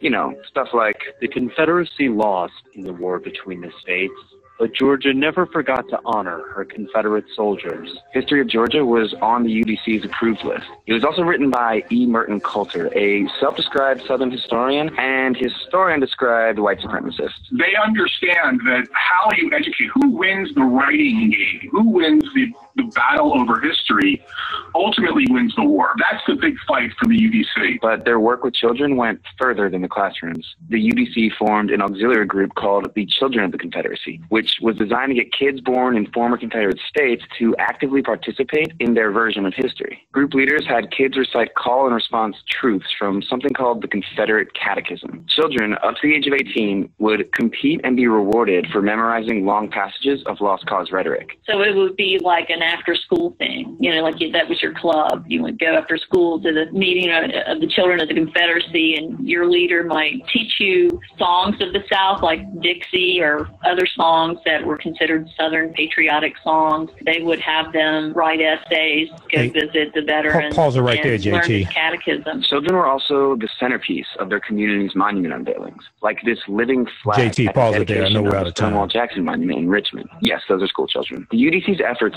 shaped the identities of children who grew up with the lost cause. They made history personal, and that made their story last longer. Generations of generations of children learning that narrative in a variety of ways grow up to be, you know, segregationists in the 50s and 60s because that's been drilled into them since they were children. After World War One, the UDC started losing steam, but the damage was done. The monuments were in place, and the textbooks they wrote remained in Southern classrooms until the late 70s. And the women's group did it all without the right to vote or participate in politics. You can still get glimmers of this lost cause memory of the war from people who will always choose to see it through the personal. And I think the UDC, to a great extent, was that was their goal. So the next time someone says the Confederate monuments are about remembering our history, just know that that's exactly what the United Daughters of the Confederacy wants you to think. All right. Okay, guys. Okay. Hey, stop. Stop it right there, JT. Okay, we're out of time. That's at Vox. Uh, that's from Vox.com. It's on YouTube. How Southern socialites rewrote Civil War history. Check that out. Also, download the document "Teaching Hard History: American Slavery." Teaching Hard History: American Slavery from the Southern Poverty Law Center, SPLCenter.org. You've heard me talk about this before. This helps to correct a lot of this misinformation. This is what we're dealing with. Okay, the misinformation about the con- the Confederacy, which ties into misinformation about the history of slavery. All right, uh, we're going to continue on my social media platforms, uh, the African History Network and Michael Imhotep on YouTube. We're out of time here. Remember, uh, you can donate dollar sign the AHN show through Cash App. Remember, right knowledge corrects wrong behavior. It's not over till we win. Wakanda forever. We'll talk to you next week. Stay tuned for Pastor Mo. Peace. Okay, so that was from. Um, that was a good piece from Vox.com dealing with the history of uh, the Confederacy. All right. How's everybody doing? This is uh, I'm Michael Imhotep. This is the African History Network show. Uh, we're on Sundays, 9 p.m. to 11 p.m. Eastern Standard Time. We broadcast on 9, 10 a.m. the Superstation WFDF uh, here in Detroit and on my social media platforms, the African History Network, and on YouTube as well. In our first hour, we were joined by economist Dr. Julianne Malveaux uh, talking about the upcoming documentary uh, Hapi, dealing with the role of um, economics, um, P, the role of economics on the development of civilization. All right, so uh, let me get into the uh, well. Let's talk a little bit about uh, coronavirus. Do a quick update on coronavirus. Uh, coronavirus update: Florida shatters single-day infection record with 15,300 new cases. That was reported on uh, uh, 15,300. That was actually reported Sunday. Actually, I think it was. Florida is set to hold the Republican National Convention in Jacksonville next month and has ordered schools to reopen five days a week. Um, Donald Trump on Saturday wore a mask in public for the first time while visiting wounded service members and healthcare workers at Walter Reed uh, National Military Medical Center. Trump has previously shown disdain toward face coverings amid the coronavirus pandemic and refused to wear them. Uh, Louisiana's Democratic uh, governor announced a new requirement that most people wear a mask in public. The state's uh, Republican lawmakers have opposed coronavirus restrictions. Now, we saw that Walt Disney World in Orlando, Florida, reopened after having been shuttered for nearly four months, even as Florida continued to report uh, record infections. Uh, testing supplies in the state are running low in the state of Florida, and some big labs are taking several days to return results. Governor Ron DeSantis said at a news conference he partly attributed the backlog to testing many asymptomatic people um, things are going to get worse in Florida. You, are having people come to an amusement park, and you have a shortage a shortage of tests in Florida, and you have in Florida consistently um, having a record number of cases each day. Now, shortly before Florida announced the new cases, uh, the Education Secretary Betsy Clueless Betsy DeVos made the rounds on Sunday uh, news talk shows where she continued to press schools to reopen even as fresh evidence emerged that the United States uh, was failing to control new ways of infection and death. Uh, in an interview, so so the numbers uh, from Florida that is that, that that th- those were the numbers for Saturday. Fifteen thousand three hundred new cases. That was announced on Sunday, but it was the numbers for Saturday. Fifteen thousand three hundred new cases in one day. Now, in an interview with CNN State of the Union, Betsy DeVos said she would like to see closed closed schools be the exception rather than the norm. The goal needs to be that kids are learning full time this fall. She said kids need to get back in the classroom. Okay, so they don't have a coherent plan to deal with this. The Trump administration does not have a coherent national plan to deal with this, to deal with coronavirus. Donald Trump, for a long time, just hoped it would go away. Okay. And he even said one day this is all just going to go away. All right. Back in February, he said we're at 15 cases. Pretty soon it's going to be down to zero. I told you there may be a zero on the number, but it's not going to be anywhere near zero. Okay, and this is this is what we're this is what we're dealing with. Um, and let's see, let's look at the.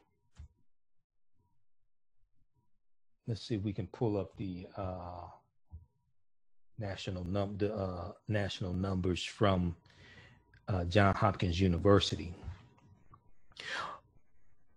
All right, now Betsy DeVos added on Fox News Sunday that the Trump administration was looking at all the options for pulling uh, federal funding from schools that don't open in the fall. She said, quote, American investment in education is a promise to students and their families. She said, if schools are going to reopen, they should they should not get the funds.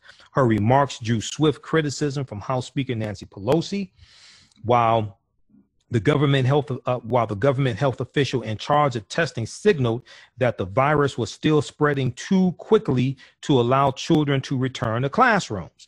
Now, at the, at the very same time all this is taking place, the White House, led by Donald John Trump, okay, uh, what they're doing is they are undermining the credibility of Dr. Anthony Fauci because Dr. Anthony Fauci is, is is doing interviews, not in, not on MSNBC in general, but he's doing interviews, really talking about telling the truth and talking about how how this is not over, this is not under control, this is not going well, and Trump is trying to undermine Anthony Fauci because Trump knows this is not going well as well.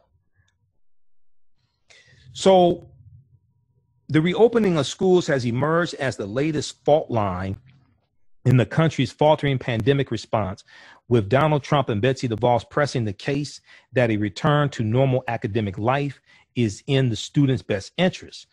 Donald Trump last week attacked school reopening guidelines from the Center for Disease Control and Prevention, the CDC, as expensive and, and impractical.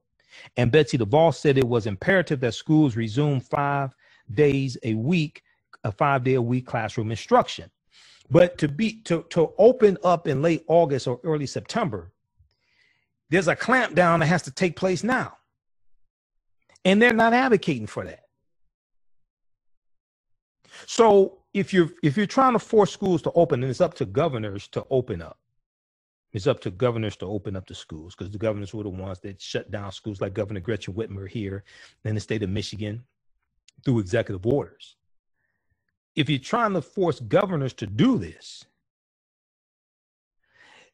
then you're literally see what this is all about is Trump wants to get the economy started back up so he can win re-election. And by winning re-election, also he avoids prosecution in places like the state of New York. Because by the time he gets out of office in 2024, 20, January 2025, the statute of limitation will run out on a lot of those um, charges. But to be able to get the economy back open, parents have to have somewhere to send their children when they go back to work. So you have to open up schools. But if you want to open up the schools, you have to slow the spread of coronavirus and get this under control. You can't slow the spread of coronavirus and get it under control when you're dealing with the U.S. setting records day after day after day. So Reuters.com reported on Friday, July 10th, 2020, U.S. sets record for new COVID cases third day in a row at over 69,000.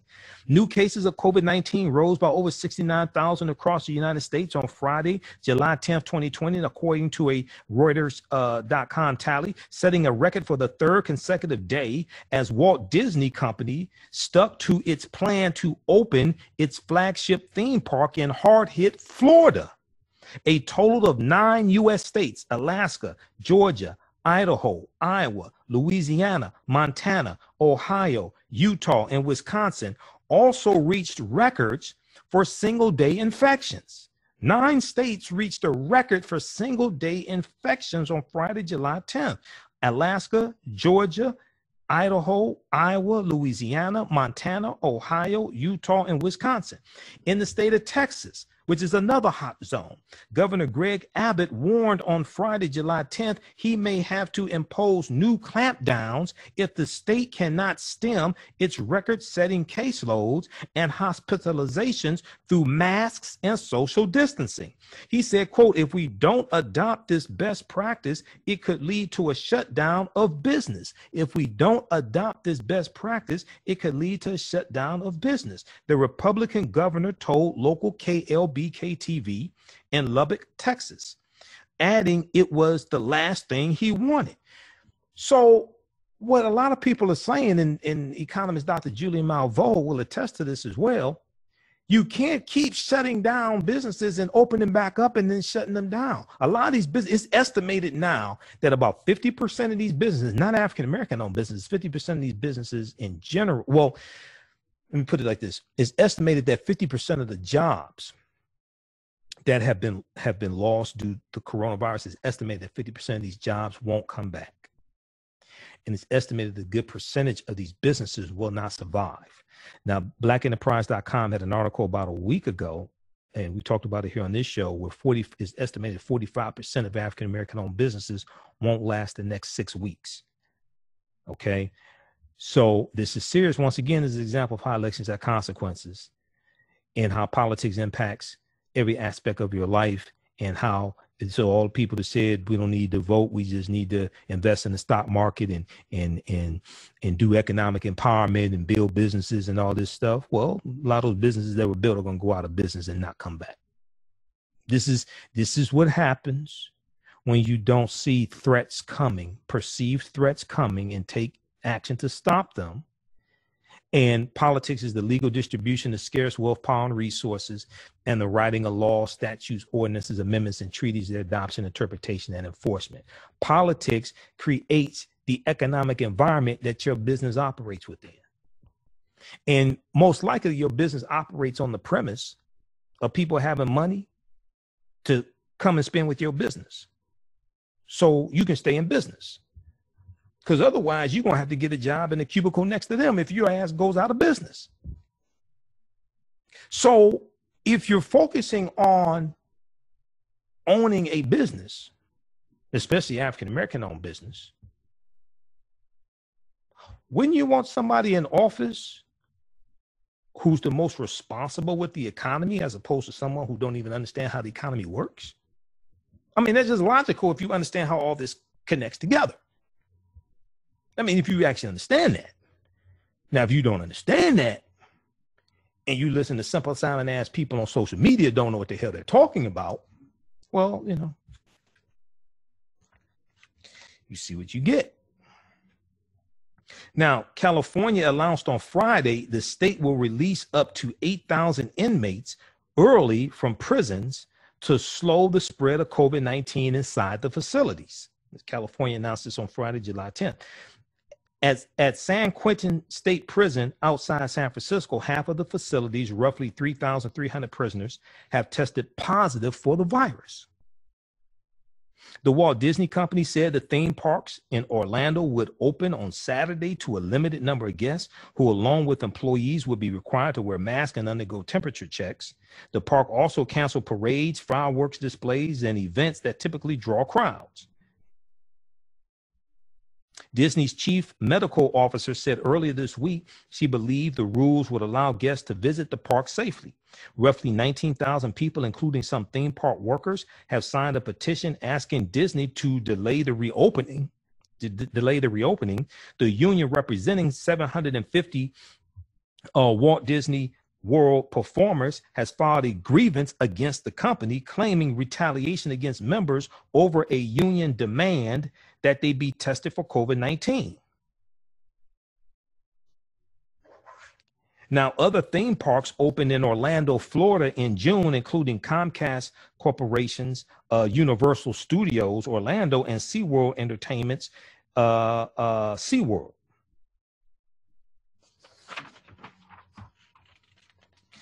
Okay, so check out the rest of the article from Reuters.com. We posted it on our Facebook fan page, the African History Network, when it came out. U.S. sets record for new COVID cases, third day in a row at over 69,000. Let's go back to the updates from the Washington Post. Washington Post has really, really good updates throughout the day dealing with coronavirus. Um, that's at WashingtonPost.com. Uh, let's go back to these updates. Coronavirus update Florida shatters single day infection record with 15,000 300 new cases. Florida uh, shatters single day infection record with 15,300 new cases. Also, we see that the U.S. Uh, has three point a little over 3.3 million reported cases, and um, worldwide is 12.8 million cases, and it is um, 568,000 uh, deaths worldwide 12.8 million cases worldwide 568,000 deaths worldwide and what's the recovery rate that's recovered um, I'll get the recovery rate here in just a sec. I'll get the number of recoveries also. We know in the U.S. you've had um, 135,000 deaths and you've had um, let's see we'll look at the in the us you've had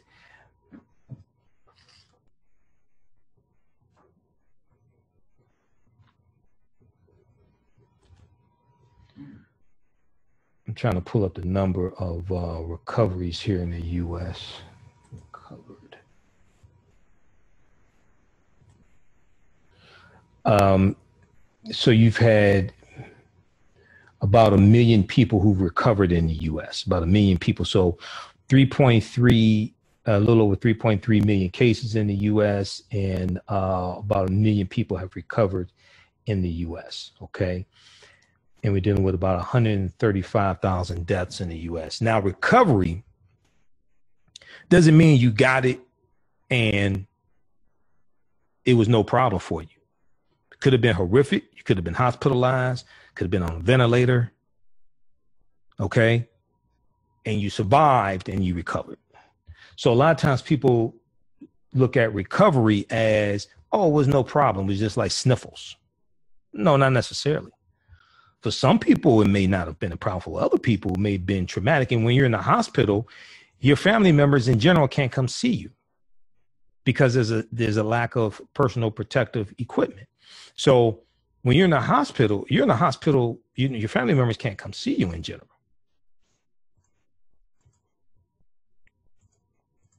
All right, let's continue here. Uh, let's look at these. Look at some more of these updates, and we're going to get to uh, some of this information dealing with Jack Johnson.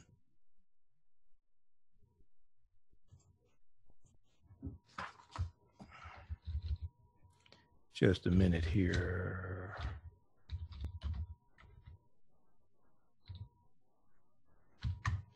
All right. So many school districts have been quick to push back on this push to try to get them to open back up, and there's no clear plan, no strategy in place to get coronavirus under control. Many school districts have been quick to push back, with some saying they were concerned about health risks to students and staff and proposed instead hybrid models using at home and in school teaching. Major questions remain about the role children and teenagers play in spreading coronavirus, with health experts, uh, while which health experts say travels quickly in crowded indoor spaces. Now, Nancy Pelosi called Betsy DeVos's message, quote, malfeasance and dereliction of duty, end quote, and accused the Trump administration of messing with the with the health of children mess, messing with the health of our children in an interview with CNN on Sunday, Sunday, July 12th. Nancy Pelosi called on Trump to invoke the Defense Production Act to make sure schools and others have more access to person uh, to personal protective equipment as the school year approaches. She also said the Center for Disease Control should take the lead in mandating health guidelines rather than just offering guidance quote, they should be mandates, not requirements, Nancy Pelosi said of uh, the CDC's rules for schools. Now, state officials in Florida have already acted on the Trump administration's demands, ordering last week that public schools fully reopen in August. This is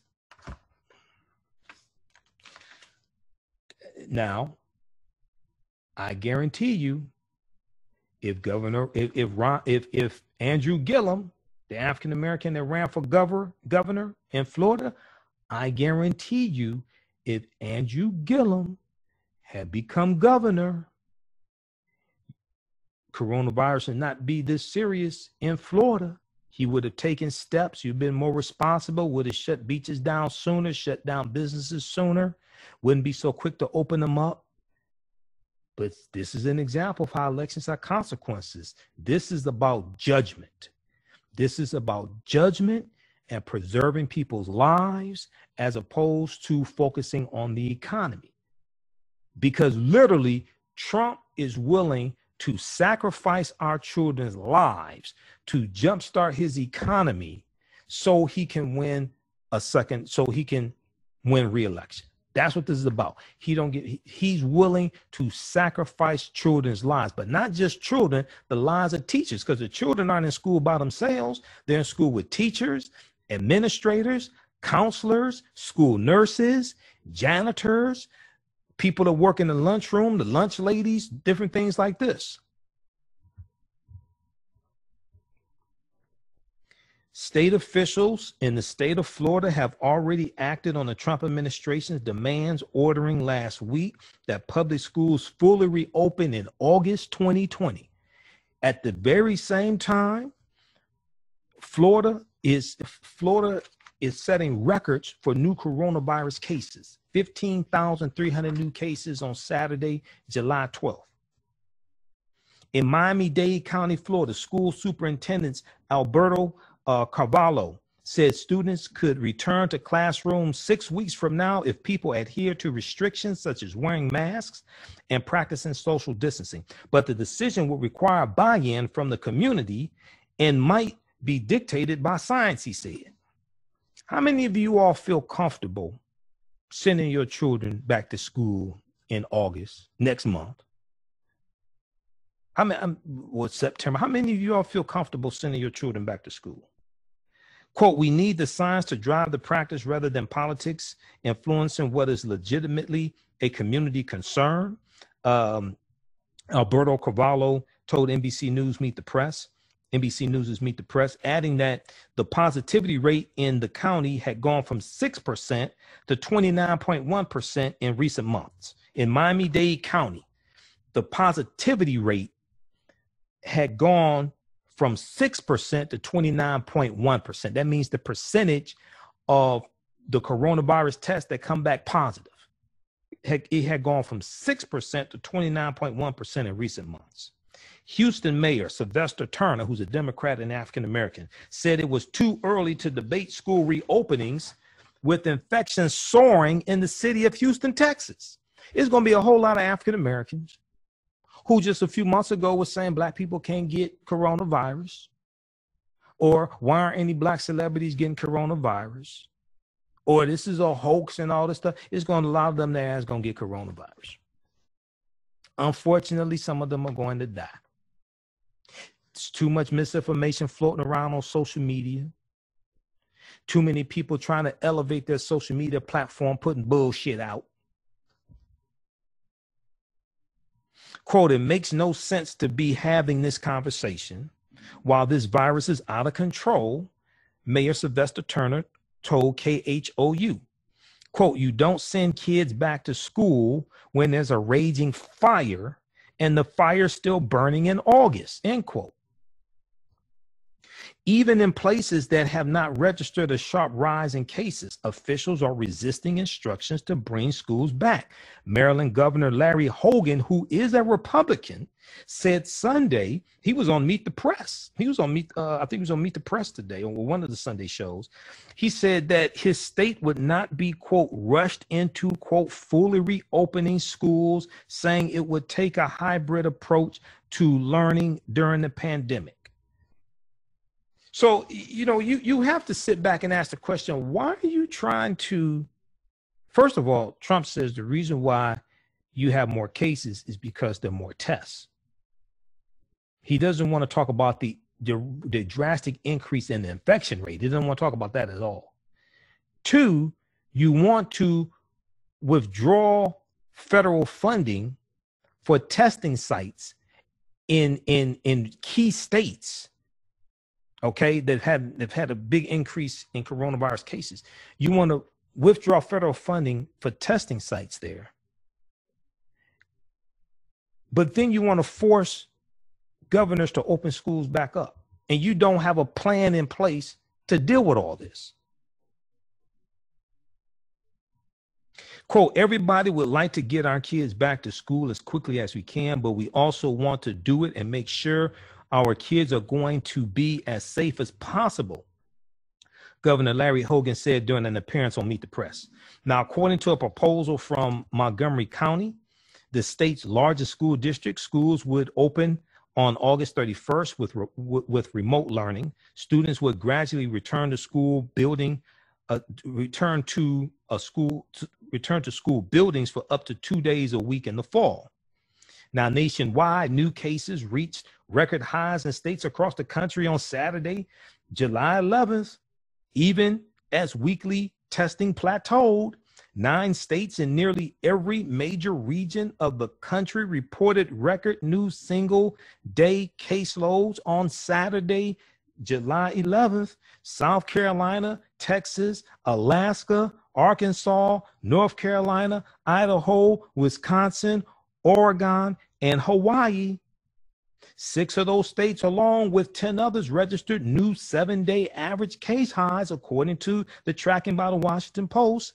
Saturday, July 11th, also marked the first time since the beginning of the pandemic that multiple states reported more than 10,000 cases in a day. And you trying to send children back to school? This is how wicked and deceitful Donald Trump is. He's willing to sacrifice our children, not his. He's willing to sacrifice our children to win reelection. Texas tallied a record of 10,351 new cases in a single day, and Florida reported 10,360. Okay, that was on, um, they reported that on Saturday. On Sunday, July 12th, Florida reported 15,300 new cases. That is, that was new cases from Saturday, the day before. 15,300 new cases.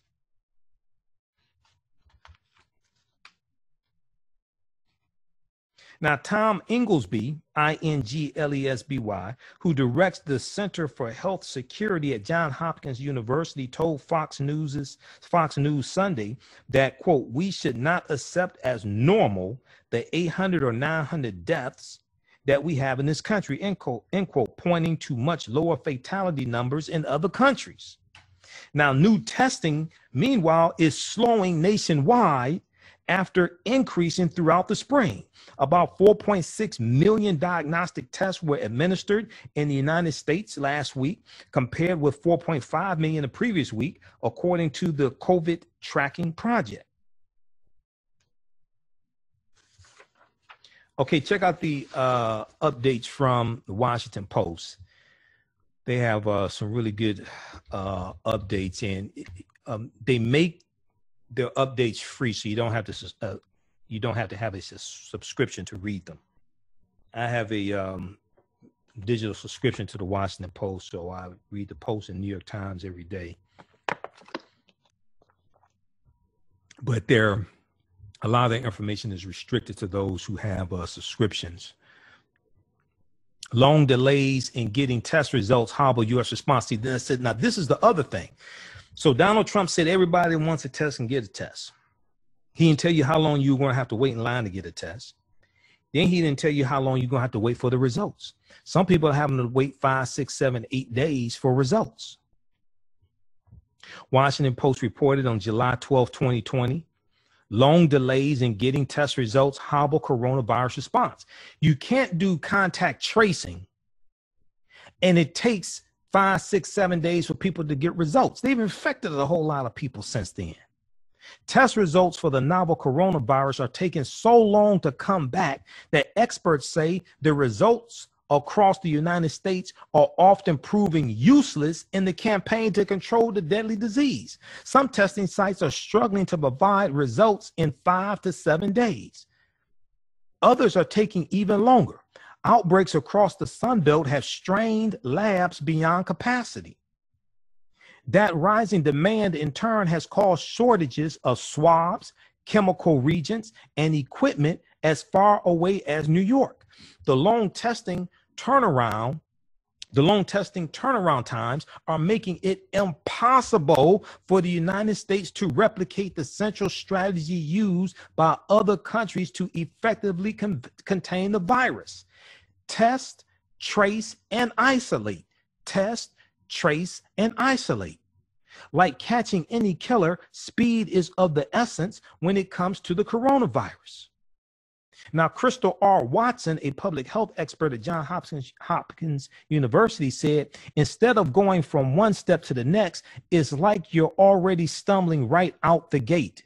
It makes contact tracing almost useless.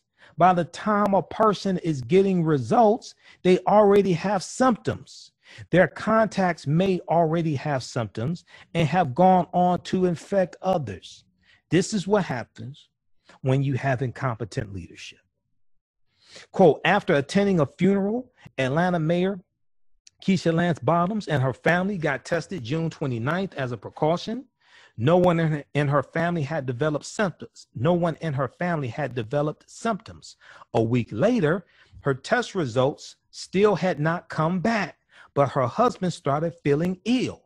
So they got a different rapid test through Emory University. Within hours, Mayor Keisha Lance Bottoms, mayor of Atlanta, learned that she, her husband, and one of the couple's four children had all been infected. She was still waiting on test results from the previous test that she took June 29th, but started developing symptoms while she's waiting on the test results to come back. It wasn't until the next day that their initial test results finally arrived. They showed that when the family first got tested, only one of them, the child, had the virus. While they waited for their test results, the boy possibly passed it to his parents. And you want to send children back to school and you don't have this under control? Quote, it really speaks to the failure of testing in this country right now, end quote, Mayor Keisha Lance Bottom said in an interview Friday. Quote, had we known we had an asymptomatic child in the house, we would have immediately quarantined and taken all the precautions, end quote.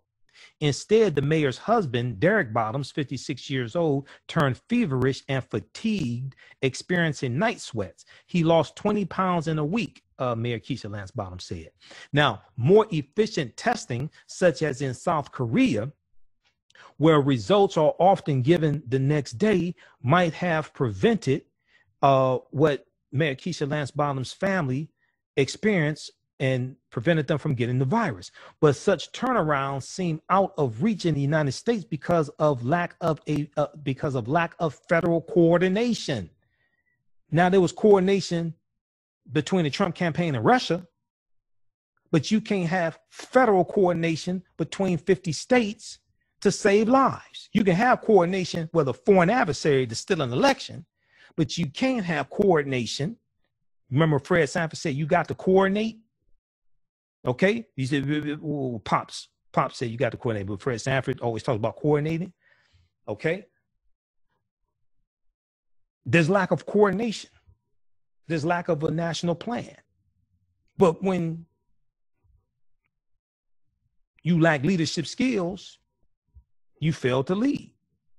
But such turnarounds seem out of reach in the United States because of lack of because of a lack of federal coordination. Supply shortages and surging demand as outbreaks in some states spiral out of control. Since the beginning of the pandemic, the United States has been plagued by testing problems. In the past four months, testing capacity expanded dramatically. Roughly 40 million tests have now been conducted. There 303, there 330 million people in the country. 40 million, r- roughly 40 million have been tested.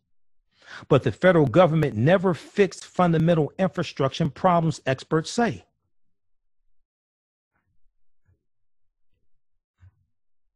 Read the rest of this article here. This is from July 12, 2020, Washington Post. Long delays in getting test results hobble coronavirus response.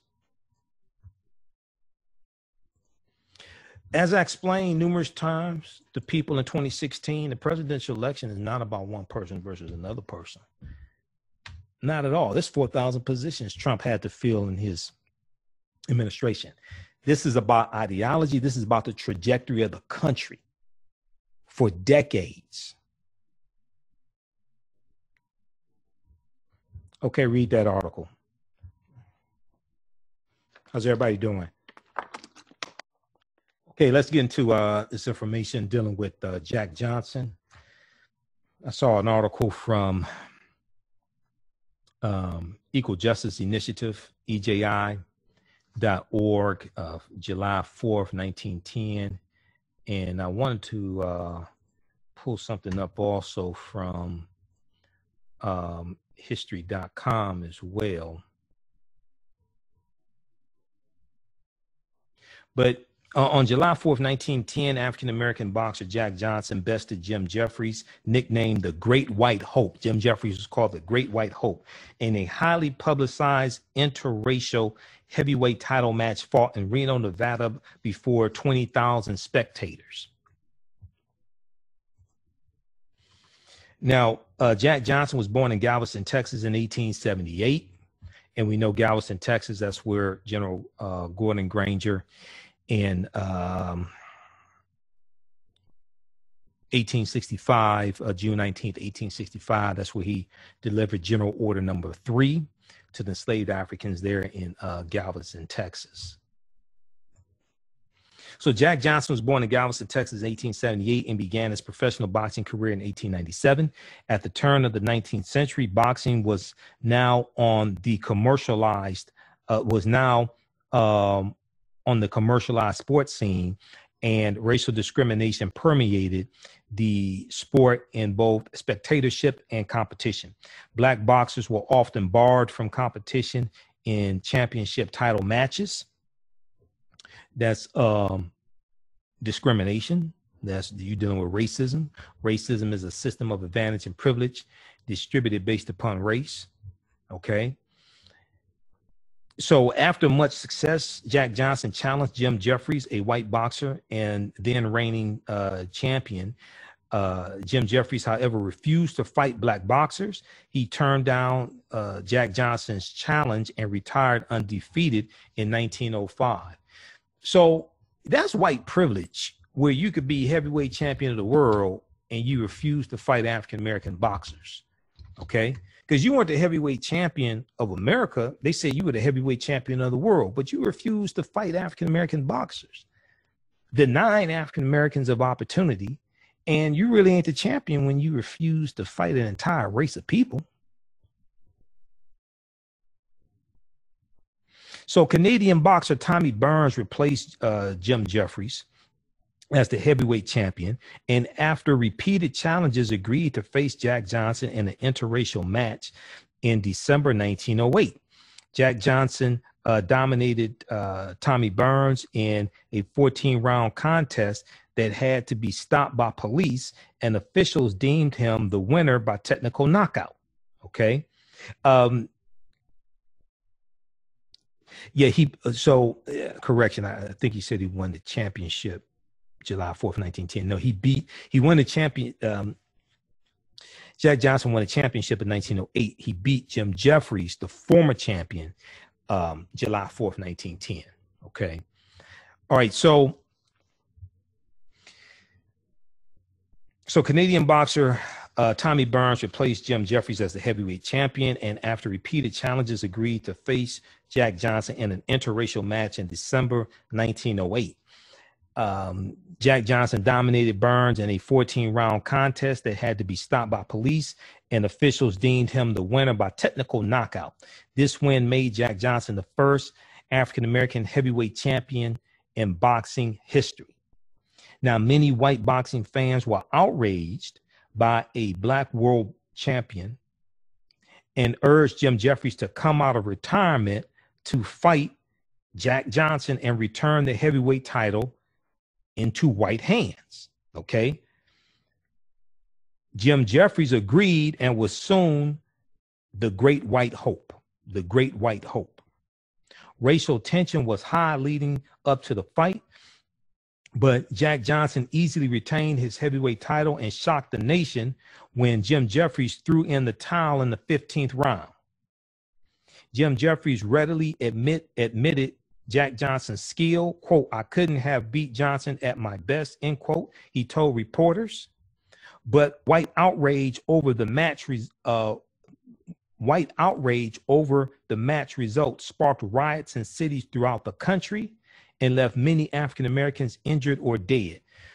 Now, there's a scene in the um, there's a scene in the series Self Made about Madam C.J. Walker, which is on Netflix. There's a scene when they talk about what happened uh, in 1910. So I think they are referring to. I, I think the scene took place in 1910, and because they're referring to Jack, a Jack Johnson fight. Okay, if it took place in 1910, this is the fight they're talking about. I think it was 1910 as opposed to 1908. Um, and I'm trying to see if I have my notes here on self-made because I watched it and took notes on it. But uh, there's a scene where they talk about the uh, lynchings of African Americans that took place after the Jack Johnson uh, fight and how Jack Johnson um, won. Let me see here. Here are my notes.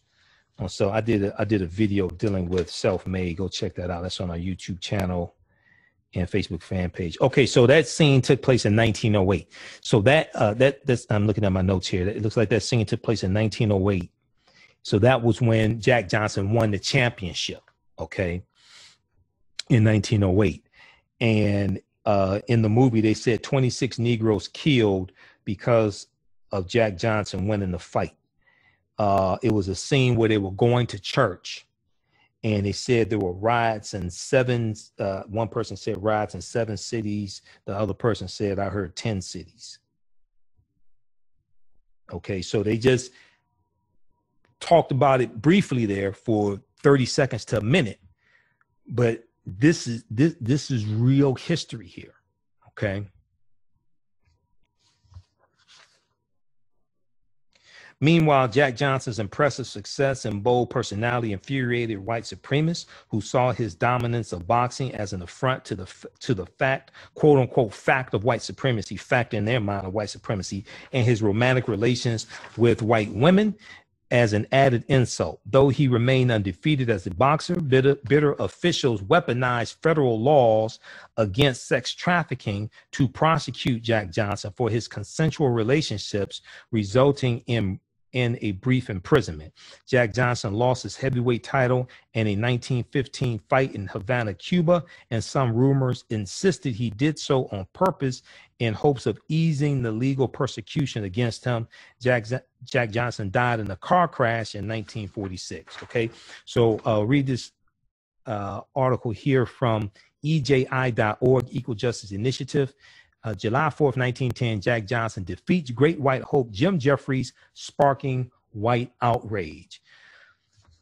All right, look, hey, uh, we have to get out of here. Remember, at the African History Network, um, you can donate to the African History Network, dollar sign the AHN show through Cash App, dollar sign the AHN show through Cash App. That helps us uh, finance our Sunday night show, stay on the air, keep broadcasting uh, or through PayPal, paypal.me forward slash the AHN show, paypal.me forward slash the AHN show through PayPal. Uh, all of my lectures are available at our website, AfricanHistoryNetwork.com. This is one of my latest ones here dealing with the real history of Juneteenth. There's a three hour presentation Juneteenth history, Emancipation Day, but not Independence Day. We never got our 40 acres and the mule. Also deal with Dr. King's Poor People's Campaign. We're coming to get our check. And then uh, also I have a extensive lecture I've done dealing with the history of Black Wall Street in Tulsa, Oklahoma, also. And uh, that's around here somewhere. Okay, that's all at AfricanHistoryNetwork.com, AfricanHistoryNetwork.com. All right, remember at the African History Network, we focus on educating, empowering, and inspiring people of African descent throughout the diaspora and around the world because right now it's correct wrong behavior. It's not over till we win. Wakanda forever. We'll talk to you next week. Peace.